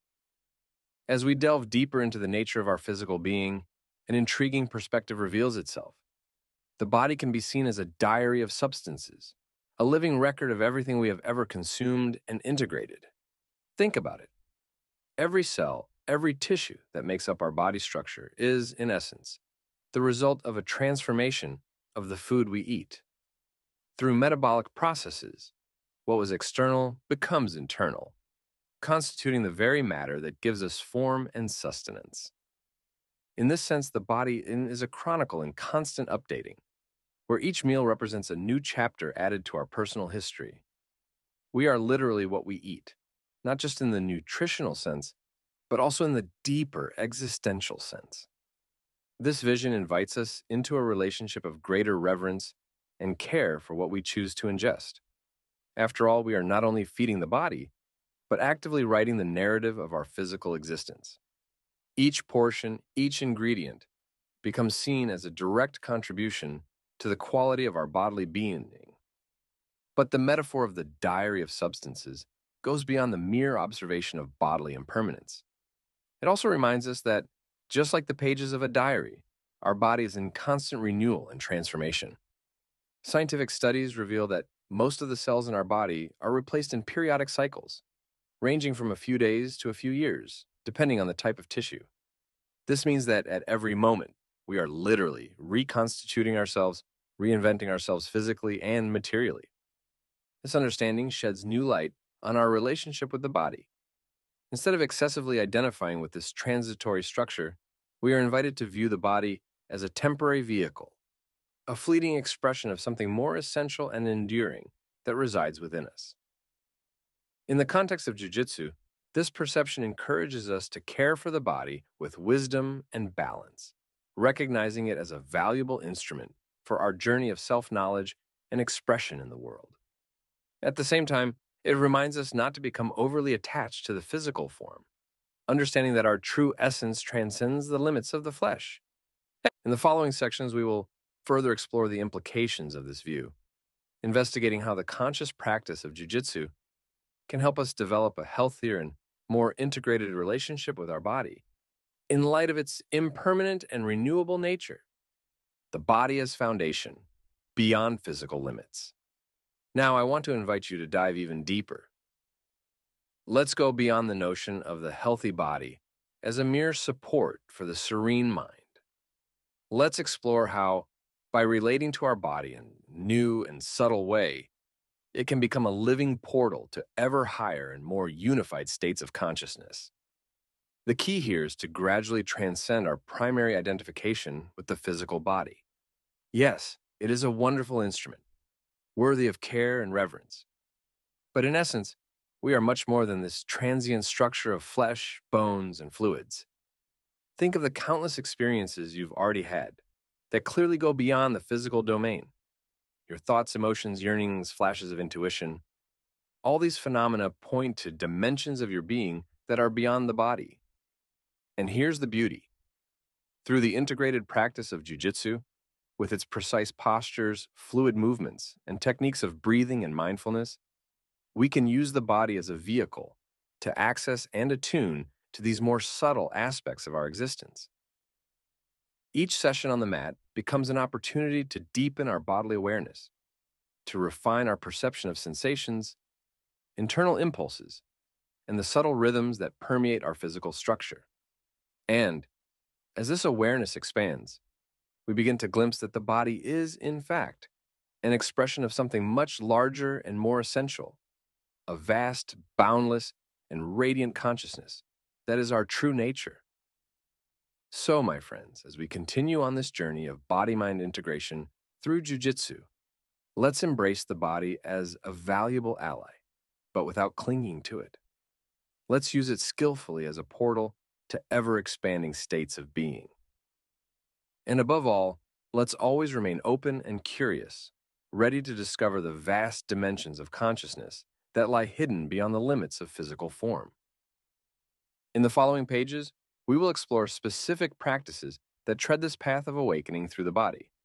But for now, let's just stay with this invitation. See your body with new eyes. Relate to it as a sacred field of investigation and discovery. And allow it to always lead you back home to the luminous immensity that you are. The body as a portal to presence. In the previous topic, we began to unveil the true nature of our being beyond identification with the physical body. We saw how the integrated practice of jujitsu can help us use the body as a portal to expanded states of consciousness. Now, let's deepen this exploration by investigating how cultivating presence through the body can lead us directly to the experience of our true, timeless essence. Here's the crucial point the present moment is the only reality. Past and future are mere mental constructs, tissues of memory and imagination. But the now, this eternal instant that encompasses all existence, is the abode of pure, unperturbed, and ever available consciousness and the body is a powerful anchor for this timeless realm. When we bring our full attention to bodily sensations, the breath, the movements, the subtle currents of energy, we are actually attuning to the now. We are freeing ourselves from the incessant flow of thoughts and resting in pure presence. In the context of jujitsu, this means bringing a meditative quality to every aspect of our practice. From the warm up to the most intense sparring, we can use the body as a portal to presence. Every conscious breath, every postural adjustment, every fluid roll becomes an opportunity to free ourselves from the past and future and dive into the infinite flow of the now. Of course, the mind tends to resist this invitation. It is used to wandering the landscapes of yesterday and tomorrow, weaving stories of victory and defeat, hope, and fear. But with patient practice and clear intention, we can gently bring our attention back to the body, to this eternal instant, every time we notice the mind wandering off. And here's the beauty the more we establish ourselves in bodily presence, the more we begin to glimpse that the now is not just a point in time, but the very essence of consciousness. We are not simply in the present moment. We are the present moment, the pure, unperturbed witness, in which all phenomena arise and dissolve. So, as we continue our journey of awakening through jujitsu, let's embrace the body as a precious ally in this rediscovery of our true nature. Let's use every moment on the mat as an invitation to rest in presence, to immerse ourselves in the timeless flow of the now. And, step by step, let us marvel at discovering that what we sought out there was, in fact, always here, in the clear and radiant immensity of present consciousness. Surrender to the miracle of this moment, and let the body be your guide, your portal, your sacred temple on the path to enlightenment. Beyond body illusion, living free of conditioning, in the preceding pages, we have investigated how the body can be a powerful portal to presence and heightened states of consciousness. We have seen that through the integrated practice of jujitsu, we can use the body as a vehicle to transcend identification with the physical form and glimpse our true, timeless nature. Now, I'd like to bring this exploration into the realm of everyday life. How can we apply these profound insights in everyday life, going beyond bodily illusion and living ever more free from limiting conditioning? Here, it is crucial to understand that most of us have been conditioned from a young age to identify primarily with the body. We have been taught to see the body as who we are, the foundation of our identity, the foundation of our sense of self. And based on that identification, we build a whole castle of beliefs and patterns of behavior. We think, I'm tall or I'm short, I'm skinny or I'm fat, I'm attractive or I'm ugly. And from those labels, we create stories about what we can or can't do, about what we deserve or don't deserve, about how others see us and treat us. But, my friends, what if this primary identification with the body was actually an illusion?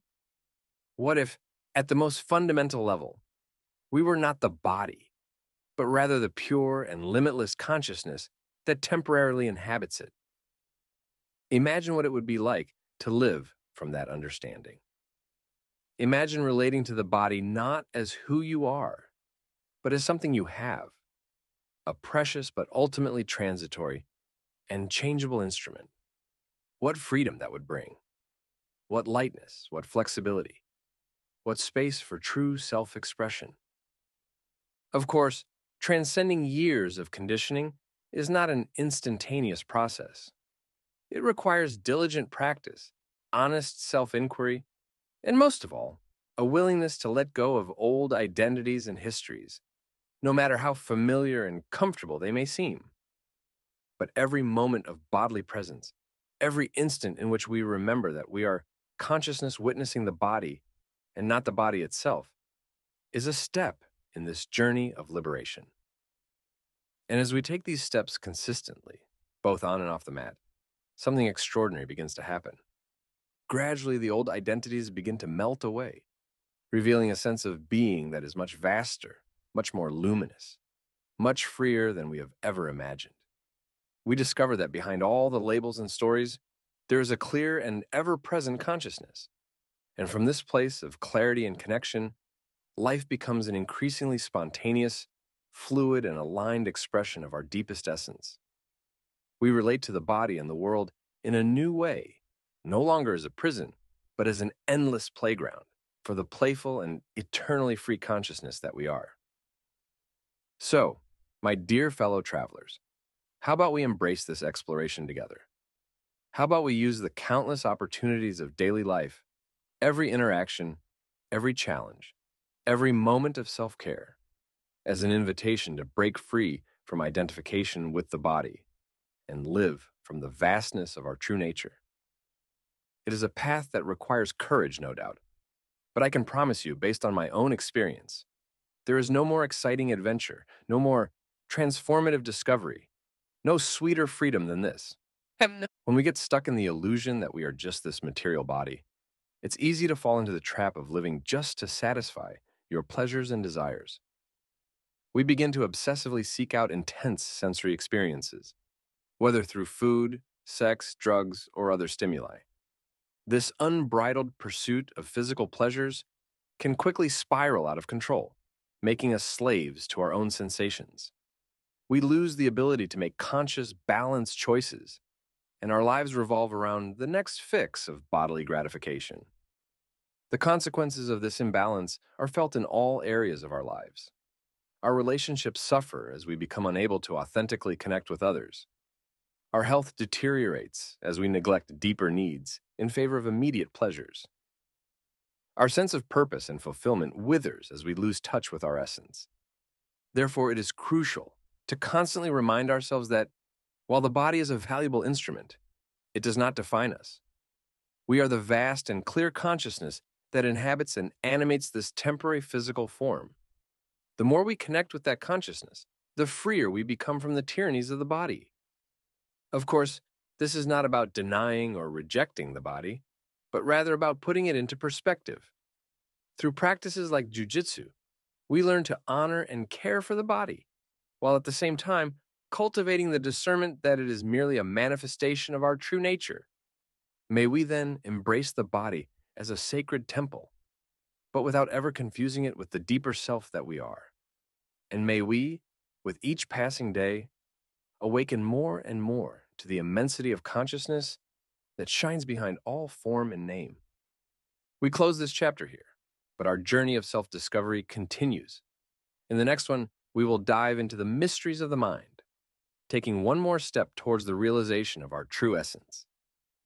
As we conclude this chapter on the relationship between body and consciousness, I would like to leave a final message that synthesizes the essence of this exploration. Let us learn to listen to our body with attention and compassion.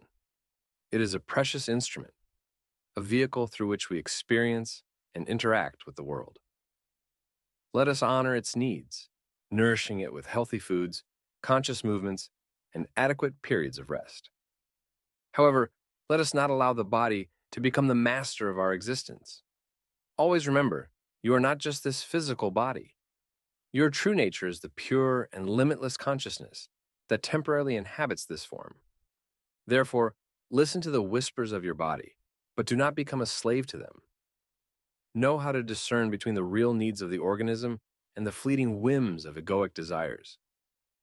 Use your inner clarity to make wise and balanced choices, keeping the body as a servant of your true essence.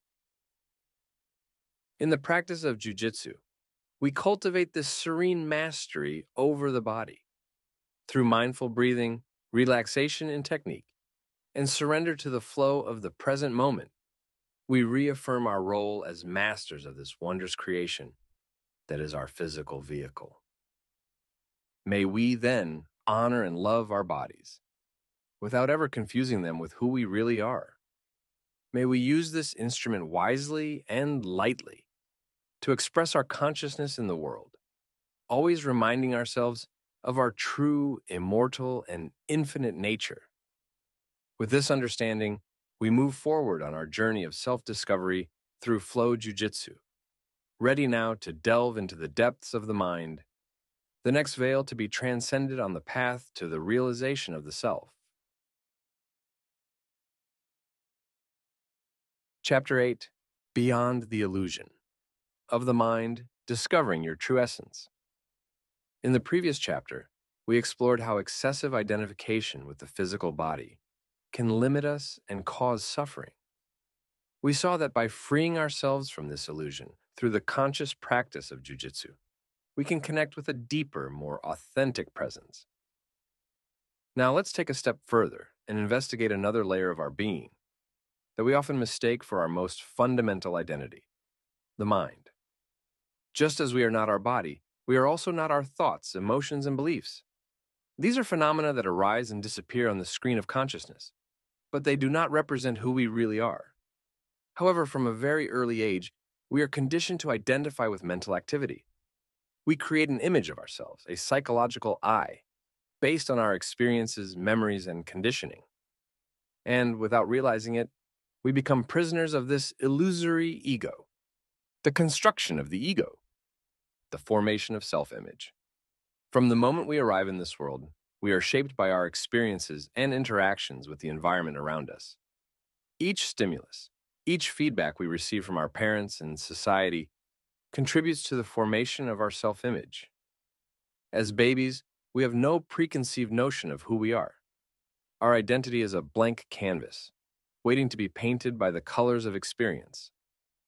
As we grow and interact with the world, we begin to internalize certain messages about ourselves. If we are constantly praised for our intelligence, for example, we may begin to construct an identity around being smart. If we are criticized for our appearance, we may develop a negative view of our body. Thus, our notion of who we are becomes a collage of experiences and external judgments, often absorbed unconsciously. The problem is that this process of self image formation is largely unconscious. We rarely stop to question these ideas we absorb about ourselves. We assume they are the absolute truth about who we are, when in reality they are only partial and often distorted perspectives, projecting the process onto others. Just as we construct a fixed and limited image of ourselves, We also tend to fit others into categories based on superficial interactions. We label people as good or bad, friends or enemies, without recognizing the inherent complexity and mutability of every human being. This tendency to project onto others the same distortions we apply to ourselves is the root of many conflicts and misunderstandings. When we interact with someone, we are not dealing with the totality of their being, but with the mental image we create of that person based on our own perceptions and prejudices, questioning the illusion of the ego. Bringing this dynamic into the light of consciousness is the first step to freeing ourselves from the prison of the ego. When we begin to recognize the illusory and transient nature of our self image, we open space for a deeper investigation of who we really are. The invitation here is to question our most basic assumptions about ourselves and others. It is a call to recognize that the ego, this mental image we have of ourselves, is a fragile and mutable construction, not the essence of our being. Throughout this chapter, we will explore how flow jujitsu can be a powerful tool in this process of deconstructing the ego and reconnecting with our deepest nature. Through conscious practice, we will learn to strip away the layers of conditioning and identify with the pure consciousness that underlies all transitory experiences. But the truth is that just as we can observe our body, we can also observe our thoughts. And if there is an observer witnessing the mental flow, then we cannot be that flow. Our true essence lies beyond the mind. It is the pure consciousness that permeates everything.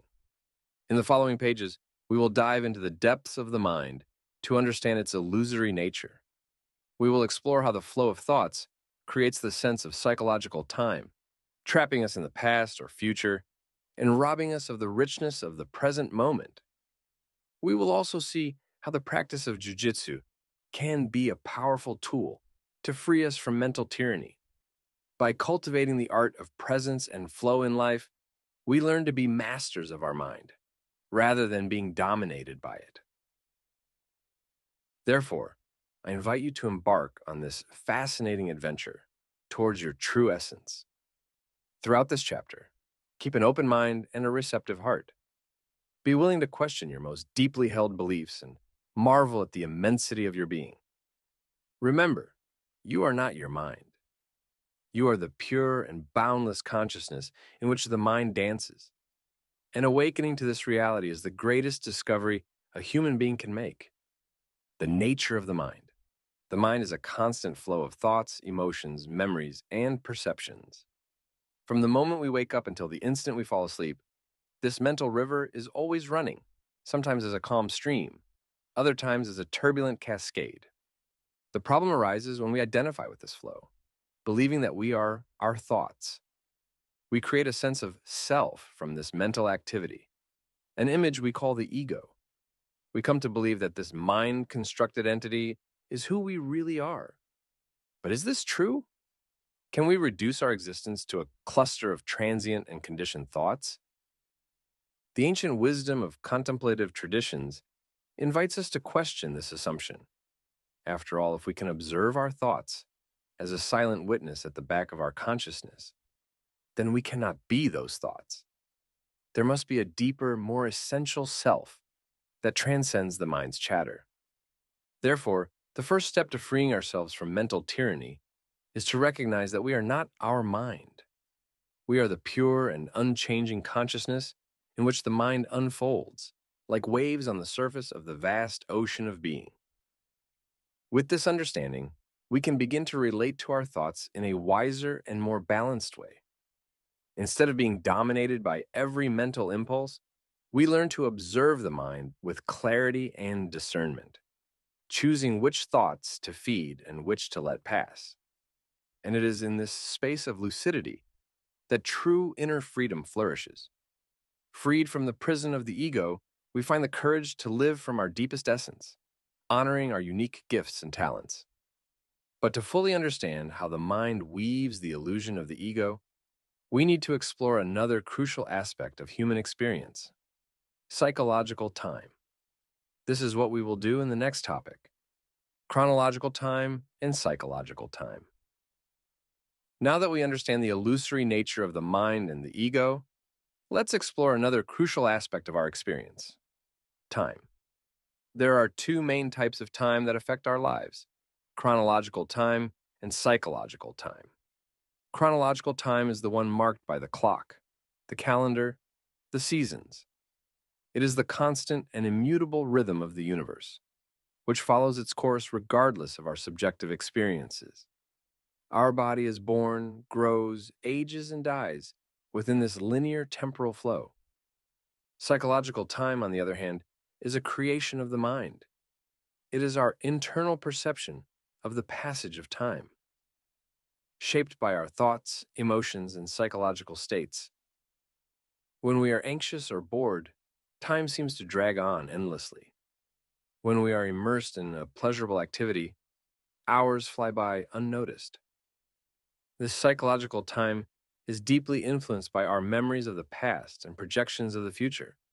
We get caught in a mental web, ruminating on events that have already gone or anxiously anticipating what is yet to come. And in this process, we end up losing contact with the only reality that truly exists the present moment. In life, as in jujitsu, when we are on the mat, we are invited to surrender completely to the here and now. There is no room for mental wanderings about the past or future. Each movement demands total presence and attention. By cultivating this quality of presence through constant practice, we begin to free ourselves from the tyranny of psychological time. We learn to fully inhabit the present moment, savoring its richness and fullness, without getting lost in the mirages of the mind. And as this presence expands beyond the mat, we discover that life is much vaster and more luminous than we ever imagined. Because at the core, the true essence of existence is not in the past or the future. It is in the eternal present, where consciousness and being merge into an infinite embrace. Therefore, may Jiu-Jitsu awaken us to the beauty of the moment and free us from the chains of psychological time. May it reconnect us with our timeless nature and reveal to us the peace that lies in simply being, the movement of thoughts, and the creation of psychological time. Our mind is constantly producing thoughts, an endless river of associations, memories, projections, and judgments. And it is the movement of these thoughts that generates the feeling of an I that travels through time, from the past to the present to the future. When we cling to a memory, reliving it repeatedly in our minds, we create a psychological link with the past. We become trapped in experiences that are already gone, unable to free ourselves and embrace the present moment. This attachment to the past is often accompanied by emotions such as nostalgia, regret, or resentment. Similarly, when we get lost in fantasies or anxieties about the future, we are creating a mental projection that distances us from our current reality. We become obsessed with expectations, desires, and fears, forgetting that the future is just a mirage created by the mind. And so, jumping between past and future, our thoughts create the illusion of psychological time, a false sense of continuity and progression that conceals the timeless truth of being. This is where the practice of jujitsu becomes a powerful anchor for the present moment. When we are fully absorbed in the flow of the roll, there is no room for mental wanderings. Each movement requires total presence and attention. And in those moments, psychological time dissolves, giving way to the vibrant immediacy of the now. Remember that behind the flow of thoughts, there is an ever present awareness that witnesses them. That is your true nature, not the transient content of the mind, but the silent space in which it arises and disappears. The more you connect with this timeless dimension of your being, the more easily you will be able to free yourself from the spell of psychological time. And you will discover that each moment becomes an opportunity to be reborn, free from the shackles of the past and the anxieties of the future. Therefore, let our practice be a constant invitation to embrace the present and free ourselves from the shackles of psychological time. For it is only in the now that life truly happens, in all its richness and fullness. Imprisonment in thoughts about the past and future is really one of the greatest causes of psychological suffering in our lives. When we get stuck in the past, rehashing events that are already gone, we open the door to depression, resentment, and melancholy. We become stagnant in a time we can no longer change, missing the opportunity to fully live in the present. Similarly, when we get lost in worries and anxieties about the future, we create an inexhaustible source of stress and restlessness. We try to control the uncontrollable, anticipate all possible scenarios, and end up moving away from the peace and clarity that only the present moment can offer. This prison of psychological time is almost an epidemic in our day. We live in a culture that values the past and the future at the expense of the now. We are conditioned to live off memories and expectations, always seeking happiness in a time that never arrives. But the truth is that life only happens in the present. It is here and now that we can truly experience the fullness of being, connect with others and the world around us. When we free ourselves from the chains of the past and the future, we discover an inexhaustible source of peace, joy, and creativity within us. By cultivating this quality of presence in practice and in life, we begin to detach ourselves from the shackles of psychological time. We learn to embrace the past with compassion without identifying with it. And we learn to plan the future with wisdom without getting lost in unnecessary anxieties. Remember, you are not your past or your future. You are the ever present consciousness that witnesses the flow of time. And it is in this consciousness that your true freedom and peace reside the mental journey in time and space. As we have seen, psychological time fundamentally differs from chronological time. While clock time follows its linear and immutable course, mental time is malleable, subject to the distortions of our perceptions and emotions. This flexible nature of mental time allows us, in a way, to travel in space and time. Through our memories and imagination, we can instantly transport ourselves to past or future moments, reliving experiences or anticipating possibilities. This capacity for mental travel can be a double edged sword. On one hand, it allows us to learn from the past and plan for the future. We can revisit difficult situations with a new perspective, applying the wisdom and discernment we have acquired over time. Thus, events that once controlled us through trauma or resentment can be reframed and integrated in a healthier way. For example, we can remember a moment when someone or something caused us suffering. With the maturity we have today, we can mentally visualize a different, more balanced response, or see that such a situation would be avoided with the knowledge we have now. This exercise does not change the past, but it transforms our relationship with it, freeing us from destructive emotional patterns. Similarly, we can use imagination to mentally rehearse future situations cultivating the qualities and skills we wish to manifest. This type of creative visualization, when combined with concrete action in the present, can be a powerful tool for personal transformation. However, the danger arises when we get lost in these mental journeys, disconnecting from present reality. When we become obsessed with the past or the future, we forget that life only happens in the here and now. Memories and expectations become prisons that prevent us from fully embracing the moment. That's why the practice of jujitsu is so valuable. It anchors us in the present, constantly reminding us that the only reality is the one unfolding before us. Every movement, every breath, every adjustment requires total presence and attention. There is no room for mental wanderings when we are immersed in the flow of the roll. Therefore, may we use our capacity for mental travel wisely, learning from the past and planning for the future, but always returning to the anchor of the present. For it is in the now that life pulsates in all its fullness, inviting us to embrace the mystery and beauty of each instant. A time for change. True change happens in an instant, in the present moment, through a conscious decision.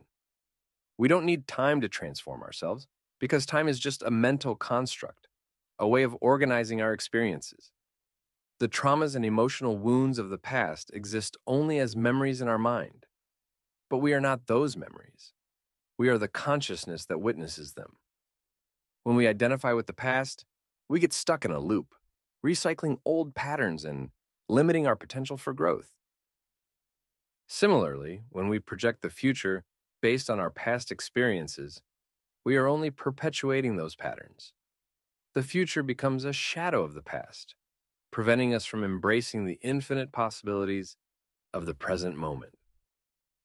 The key to liberation lies in doing what needs to be done, here and now, without attachment to the results. When we act with presence and awareness, aligned with our deepest values, we plant the seeds of genuine change, and those seeds can only be planted in the fertile soil of the present. Jiu-Jitsu teaches us the art of inhabiting the moment, of responding to what life presents us with wisdom, courage, and compassion. Each movement on the mat is an opportunity to free ourselves from the past and the future to connect with the fullness of being.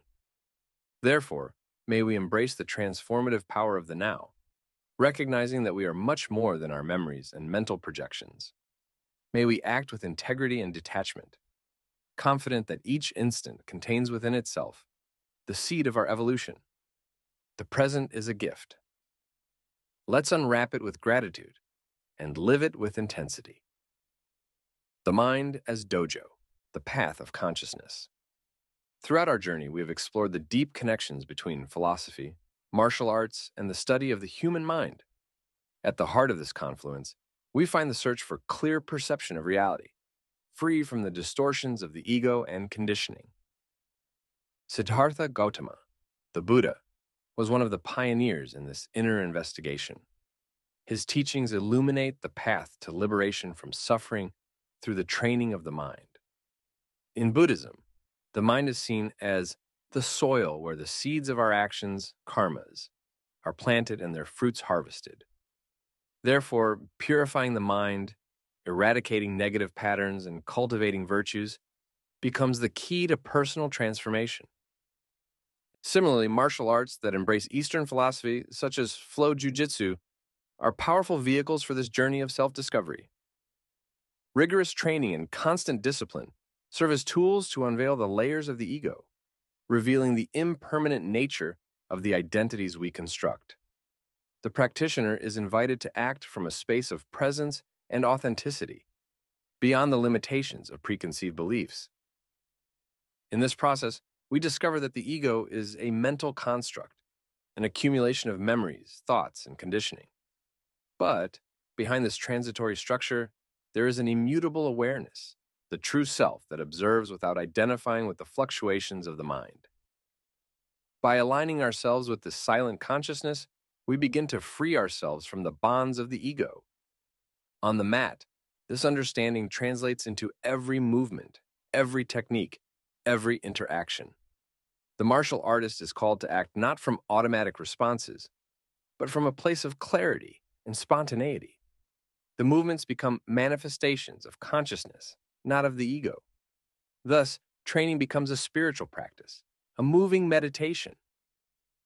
As we deepen this investigation, we realize that we are, in essence, beings of pure consciousness, with unlimited potential. By detaching ourselves from the illusions of the ego, we reconnect with the vastness of existence, with the interconnectedness of all phenomena. In this space of union, we experience true freedom and unconditional compassion. Therefore, may we embrace our inner journey with the dedication of a martial artist and the curiosity of a mind explorer. May each challenge on the mat and in life become an opportunity to detach from the ego and awaken to our deepest nature. For it is in this awakening that we find lasting peace and transformative wisdom. Final chapter the observer. The essence of flow. Jiu-Jitsu, Introduction. Mm. Throughout this book, we have embarked on a journey of exploration and transformation through flow jiu-jitsu. We started with the fundamentals of the flow state, examining the conditions necessary to access it, and the practices that help us cultivate it on the mat and beyond. We have seen how flow can elevate our performance, accelerate our learning, and unlock our creative potential. More than that, we discovered how the principles of flow jiu-jitsu can permeate all areas of our lives, making us more present, adaptable, and aligned with our true essence. Now, we come to the apex of this journey, a final exploration of the nature of consciousness itself. In the previous chapters, we focused mainly on the relationship between flow and our experience of body and mind. But there is an even deeper dimension to be investigated the pure consciousness that underlies and enables all experiences. In this final chapter, we will embark on a direct investigation of the nature of this consciousness. We will question our assumptions about who we are and what is real, paving the way for a transformative understanding of our deepest being. This is not merely an intellectual undertaking, but a living exploration to be carried out in the laboratory of the mat and daily life.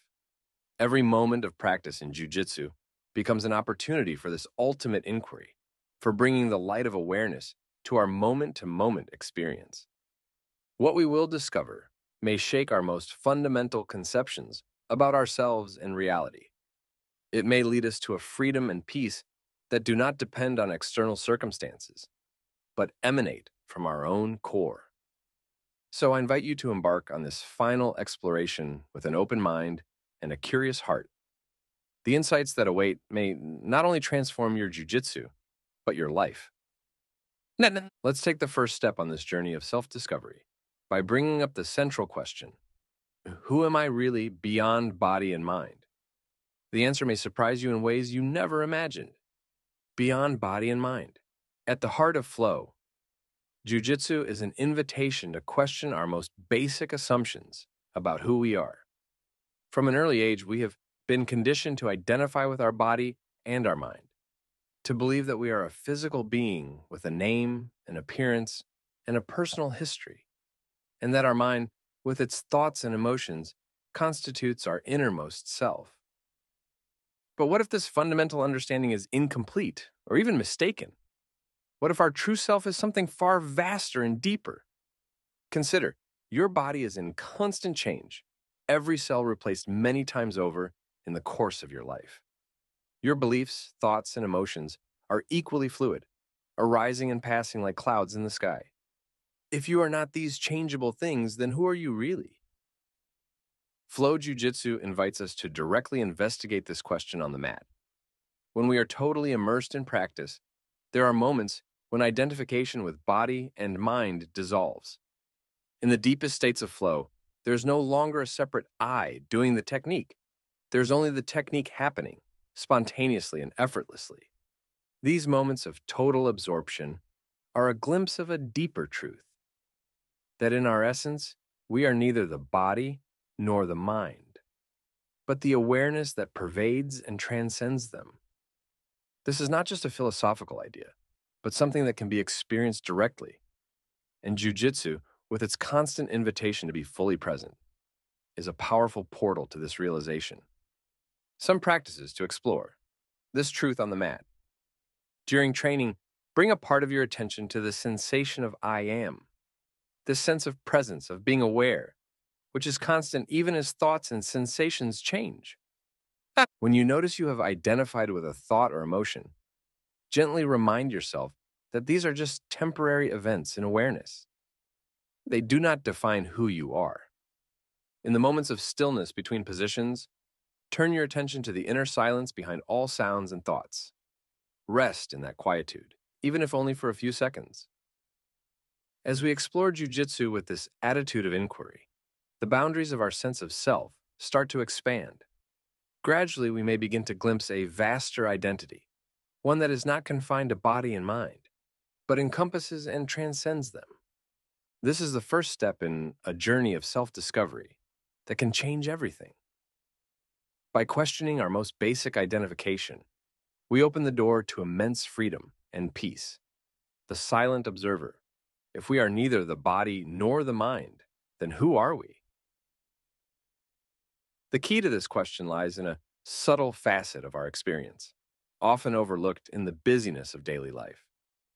In every moment, there's an awareness that is cognizant of everything that arises thoughts, emotions, sensations, perceptions. This awareness is not affected by the content it observes. It simply witnesses without judgment or attachment. We can call this awareness the silent observer. It is the unchanging backdrop against which all mental and physical phenomena occur. Normally, we are so absorbed in the objects of our awareness that we overlook awareness itself. We are hypnotized by thoughts, lost in emotions, identified with the body. But through the practice of flow jujitsu, we can begin to bring this deeper dimension of our experience into the foreground. When we are on the mat, totally present to the moment, there is a quality of witnessing that starts to emerge. Even in the midst of the intensity of a roll, a part of us remains calm and centered, simply observing what is happening. This is the silent observer in action. And the more we attune to this witnessing presence, the more we begin to realize that it is our true self, the pure awareness that pervades and enables all experiences. Some practices to cultivate the awareness of the observer in jujitsu. During the flow roll, periodically remember to redirect a portion of your attention to the awareness that is aware of the experience. Ask yourself, who is watching all this? When a strong thought or emotion arises during a fight, see if you can witness it without getting caught up in it. Observe it as a passing event in consciousness. In the moments of rest between workouts, turn your attention to the sense of presence, the pure I am behind all mental phenomena. As we become more familiar with the silent observer, a subtle but profound shift begins to occur. Gradually, our identification shifts from the content of our experience to the consciousness that permeates it. This is a crucial step on the path of flow jujitsu. By establishing ourselves as the conscious witness, we gain immense freedom and clarity. We are no longer controlled by the whims of the mind. Instead, we see them for what they are temporary events in the vast space of consciousness. And yet, that's not the end of the journey. Even the silent observer ultimately gives way to even deeper realization. For when we investigate further, we find that even the duality of observer and observed finally dissolves into a transcendent unity. Investigating the observer, establishing yourself as the silent watcher, is a transformative step on the path to flow jujitsu. From the perspective of this silent witness, we gain a new freedom and clarity, no longer identifying with the changing contents of mind and body. But the journey of self discovery doesn't end here. In fact, it is at this point that the deepest investigation begins. For even the duality of observer and observed, when closely examined, reveals itself to not be the final truth. To deepen this understanding that the observer is, in essence, the observed, we can engage in a sincere and direct investigation of our experience. Let's start with a simple yet profound inquiry. Can there be an observer without something to observe? Think about it. If there were no thoughts, emotions, sensations, in short, if there were no experiences, could there be an observer? Isn't the observer's very existence intrinsically tied to and dependent on the existence of the observed? Now let's turn to the nature of the observed. When a thought arises in consciousness, can we say it is separate from the consciousness that perceives it? Or is the thought made of the same substance as consciousness? Isn't the thought itself a movement in consciousness? The same can be said for any other experience an emotion, a bodily sensation, a sense perception. All these experiences arise and dissolve in consciousness, are made of consciousness. There isn't a single element of our experience that is outside of consciousness. This leads us to a startling realization. If everything we observe is an expression of consciousness, and we are that observing consciousness, then observer and observed are ultimately one reality. Consciousness is always observing itself, playing with itself, dancing with itself. It's as if consciousness is a vast ocean, and every thought, every emotion, every perception are waves arising from and returning to the ocean's vastness. Can we say the wave is separate from the ocean? Or is the wave simply the ocean taking a particular form, temporarily? Similarly, can we say the observed is separate from the observer? Or are they simply the one consciousness taking different forms, playing the game of being the observer and the observed? When this understanding dawns, a profound transformation begins to occur. The sense of separation between I and other, between inside and outside, starts to dissolve. We recognize that our true identity is not an isolated entity, encapsulated in a body and a mind, but the vast and limitless consciousness itself, within which all experiences arise and disappear. And with this recognition comes a tremendous freedom. We no longer need to cling to or resist any experience, for we recognize that they are all temporary expressions of our true nature. We can embrace each moment, each interaction, each challenge with an openness and lightness that previously seemed impossible. Consider can the observer truly be separate from what is observed, or are they ultimately one single reality? Let's explore this question directly in the laboratory of the mat. The next time you are practicing flow roll, take a few moments to turn your attention to the silent observer. Be aware of this conscious presence that witnesses all thoughts, emotions, and sensations that arise. Now turn the attention of the observer onto itself. Try to observe the observer itself who is aware of the observer? What do you find when you try to locate or grasp this witnessing presence? If you investigate sincerely and thoroughly, you may discover something surprising. The observer ultimately cannot be found. When you look for the source of consciousness, all you find is more consciousness. This points to a profound truth that the observer and the observed are not two separate entities, but expressions of a single reality. The consciousness that observes and the consciousness that is observed are, in essence, one and the same. This insight has the potential to turn our understanding of who we are upside down. It suggests that our true nature is not an individual entity separate from the world, but the non dual consciousness itself, from which all phenomena emerge and to which they return. And yet, this understanding cannot remain merely intellectual. It must be realized directly, lived as our most intimate experience. And this is where flow jujitsu really shines as a path of awakening.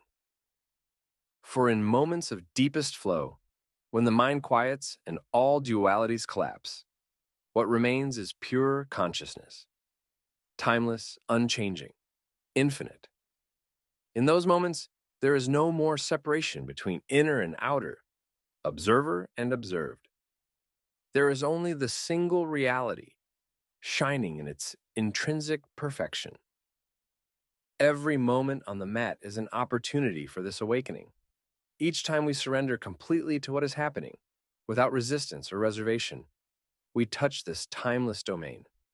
And the more we taste this state, the more it permeates our life off the mat as well. This is the ultimate invitation of flow jujitsu to use our practice as a vehicle for the deepest realization, to bring the light of inquiry to each moment, accepting nothing as final truth until it is confirmed in our direct experience. And with each step on the path, to remember that the peace we seek is not found in some future state, but is always available here and now, in the boundless vastness of our true nature, the realization of pure consciousness. As our investigation deepens, an extraordinary realization begins to dawn that behind all the changing phenomena of mind and body, there is an unchanging dimension of our experience, pure consciousness itself. This is not a personal consciousness belonging to a separate individual. It is universal consciousness, the substratum of all existence. It is the primordial I am that precedes all thoughts, emotions, and perceptions. Normally, we are so absorbed in the content of our experience that we overlook the consciousness that makes it possible. We identify with the body, get lost in thought attached to emotions, all while pure consciousness remains as the unrecognized background of all these experiences. But as we practice flow jujitsu with an attitude of inquiry, something remarkable begins to happen. Gradually, our identification starts to shift from the transient phenomena to the unchanging consciousness that permeates them.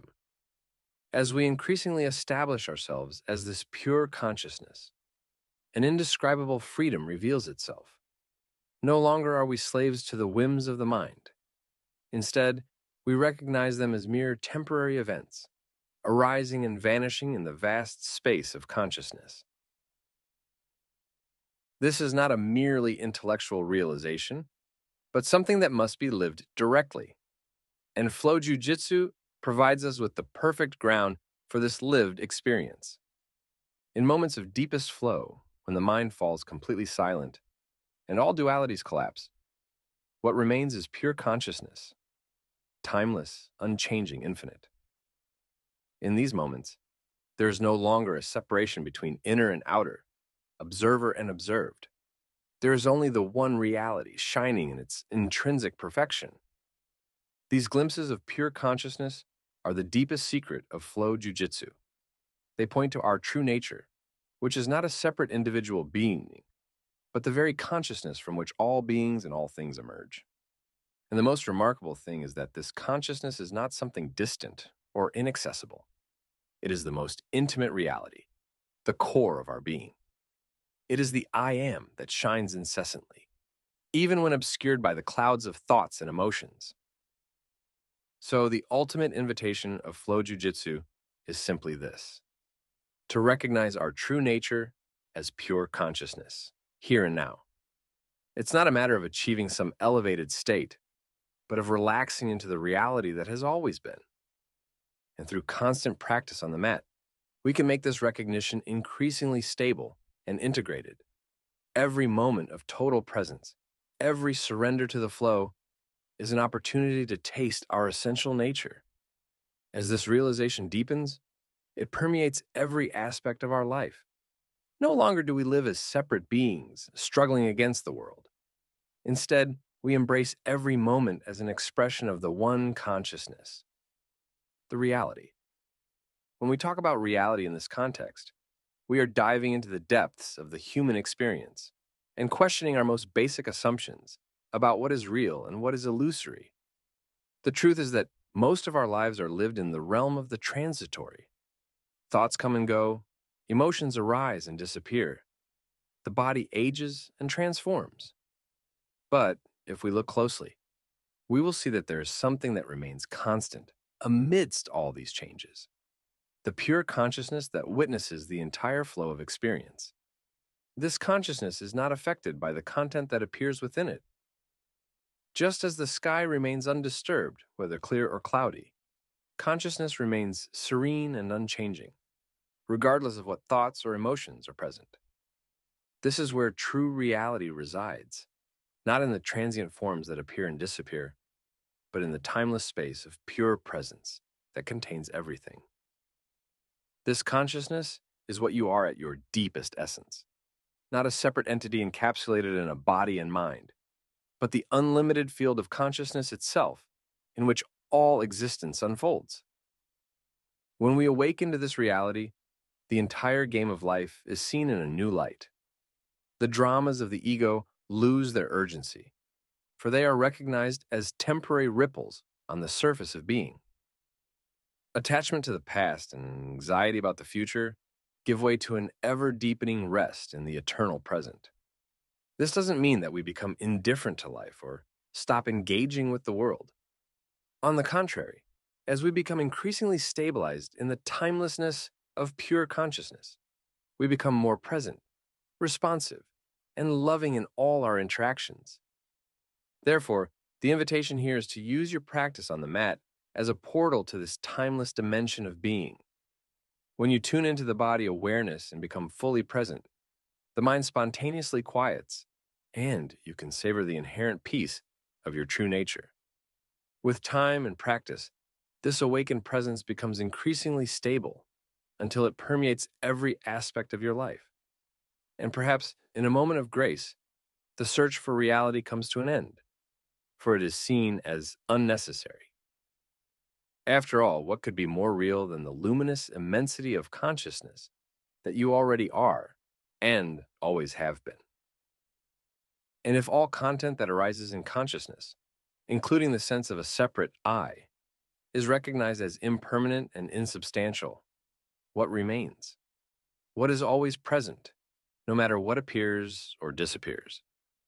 What remains when the waves of experience settle is pure consciousness itself, the awake, contentless presence that is your true nature. It is the vast and serene space in which all thoughts, emotions, and perceptions arise and pass without ever disturbing its inherent peace. This consciousness is timeless, unchanging, infinite. It was never born and will never die. It is the most intimate sense of being, the I am that precedes all thoughts, the naked luminosity of self illuminating presence. This is your true face before you were born your deepest essence that cannot be touched by any passing experience. And the most amazing thing is, this presence is immediately available here and now. There is no need to look anywhere else. May these words not be taken as mere ideas, but as an invitation for direct investigation. After all, the entire journey of flow jujitsu has brought us here to the threshold of this profound recognition. So turn within. Allow everything you are not to dissolve in the light of your awakened presence. Relax back into the serene vastness that you are, the pure, immaculate, and free consciousness. For in the end, this is the greatest treasure that Flow Jiu Jitsu has to offer. Not just athletic prowess or martial mastery, but a doorway to ultimate realization a realization that brings unshakable peace, a joy that doesn't depend on circumstances, and a loving openness to the entire experience of life. Transiting between body, mind, and spirit. Our existence is marked by a continuous dance between different states of consciousness. During waking, we are immersed in the world of senses and mental activity. In dreaming, we enter a oniric realm where reality takes fluid and symbolic forms. And in deep sleep, we plunge into a vast ocean of peace and silence, where all activity ceases. And yet, behind all these transitory states, there is a perennial and immutable being. This pure consciousness, this fundamental I am, remains as the silent backdrop of all experience. It is from this space of fullness and wholeness that all phenomena arise and dissolve. The great challenge is to learn to maintain contact with this essential dimension, even amidst the vicissitudes of life. This is where the practice of jujitsu can be a powerful ally.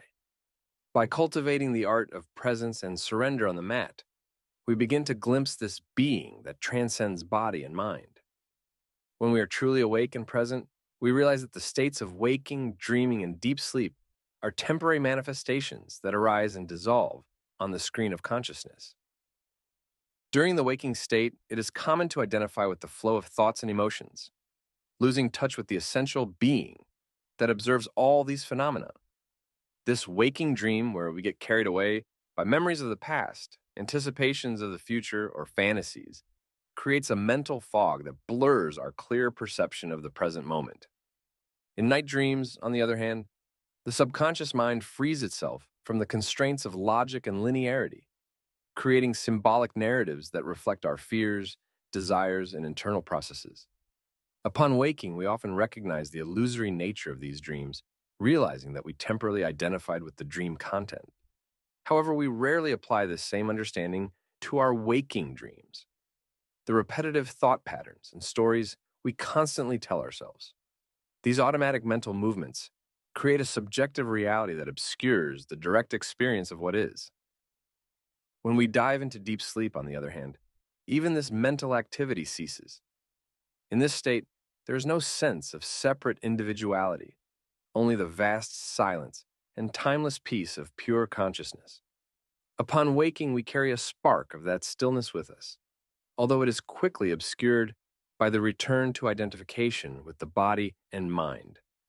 Therefore, the invitation is to recognize, amidst the busyness of waking life, those glimpses of clarity in which we glimpse our true essence, and to remember, again and again, to disentangle ourselves from the web of thoughts and rest in the naked presence of the moment, where dreams reveal themselves as dreams and the eternal being shines in all its splendor.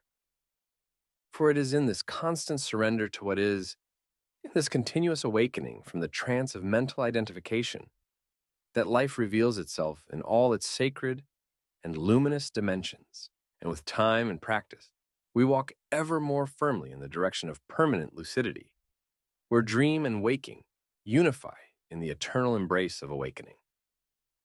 Flow Jiu-Jitsu as a gateway to awakening. Having understood the nature of pure consciousness, we can now see how the practice of flow Jiu-Jitsu can be a powerful gateway to this supreme realization.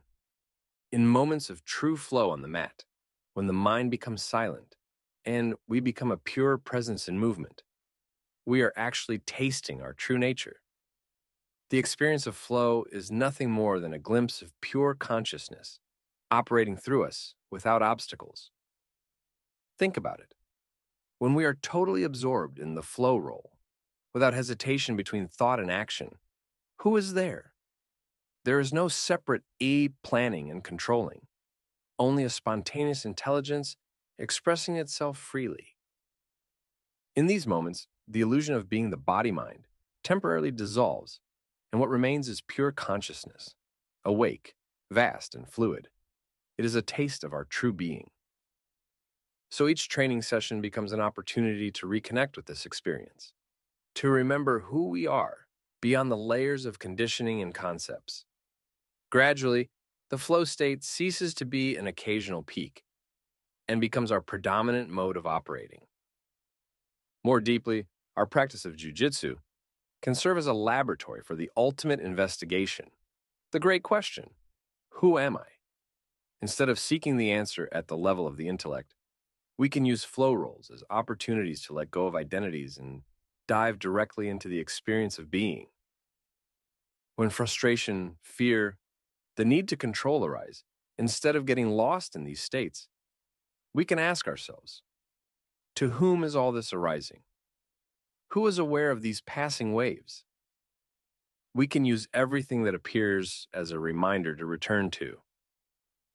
That which witnesses everything with ever present equanimity. Day after day, fight after fight, we disidentify with the transient and awaken to the eternal that we are. The mat becomes a dojo of self discovery. The body and mind become gateways to the infinite. This is the ultimate promise of flow jujitsu that through this practice, we not only become more skilled artists, but that we realize our deepest nature, that we find at last the unconditional peace and freedom that is our innate inheritance. Living from consciousness. The impact of this realization, this awakening, goes far beyond the mat. In fact, it fundamentally transforms every aspect of life. Imagine living totally established in conscious presence, aligned with the intelligence and flow of life. Without internal resistance, without the constant need to control and protect, without the weight of a limited identity to carry. Just a light and responsive openness to the present moment, a constant unfolding of essence. In this state, life becomes a dance, a spontaneous celebration. Our relationships deepen, because we are truly present, without egoic agendas. Our work becomes an expression of love and service. Every exchange, however simple, is imbued with meaning and beauty. It is not just about improving our martial skills, but radically transforming the way we live, to open ourselves fully to life and allow consciousness to flow through us without obstruction. So, my dear fellow travelers, may you accept the call of Flow Jiu-Jitsu at its deepest level. May you have the courage to use your practice as a gateway to the ultimate truth of what you are. And may you, day by day, awaken more and more to the immensity of consciousness that shines behind every form, every experience. This is the greatest gift, the greatest treasure, and it is right here, waiting only for your recognition. Final considerations. As we come to the end of this transformative journey exploring flow jujitsu, I hope you have found not only techniques to enhance your performance on the mat, but also glimpses of a new way of relating to life as a whole. Regardless of your personal beliefs, whether you are an atheist, agnostic, Christian, Buddhist, Hindu, or follower of any other faith, cultivating the perception of who you really are beyond mental conditioning can bring immense benefits here and now. If we believe that everything ends with death, living in a flow state allows us to extract the most out of this existence, experiencing a full, authentic life free from the limitations of a conditioned mind. Imagine reaching the end of life having truly lived, rather than just existing on autopilot. On the other hand, if we believe in a continuous journey of consciousness after death, this clarity about our true nature becomes the ultimate map with this awareness, we are much more apt to perceive the doors to paradise, elevated states of consciousness, both in this life and in any other. You see, when we are identified with our thoughts, emotions, and social roles, we are like a surfer who confuses himself with the waves. We are at the mercy of the tides of life, constantly oscillating between euphoria and fear. But by recognizing that we are, in fact, the entire ocean, the unchanging consciousness behind all passing waves. We gain an anchor of peace and stability that no external circumstance can shake. We no longer need to fight against life because we know that we are life itself expressing itself in infinite forms. This is where the constant flow state springs from, from a deep acceptance and surrender to the present moment. Not a passive surrender, but a fluid and creative participation in the dance of life. And the most amazing thing? This is not a distant reality to be achieved, but our innate condition. Not something to be developed, but recognized and remembered, moment by moment.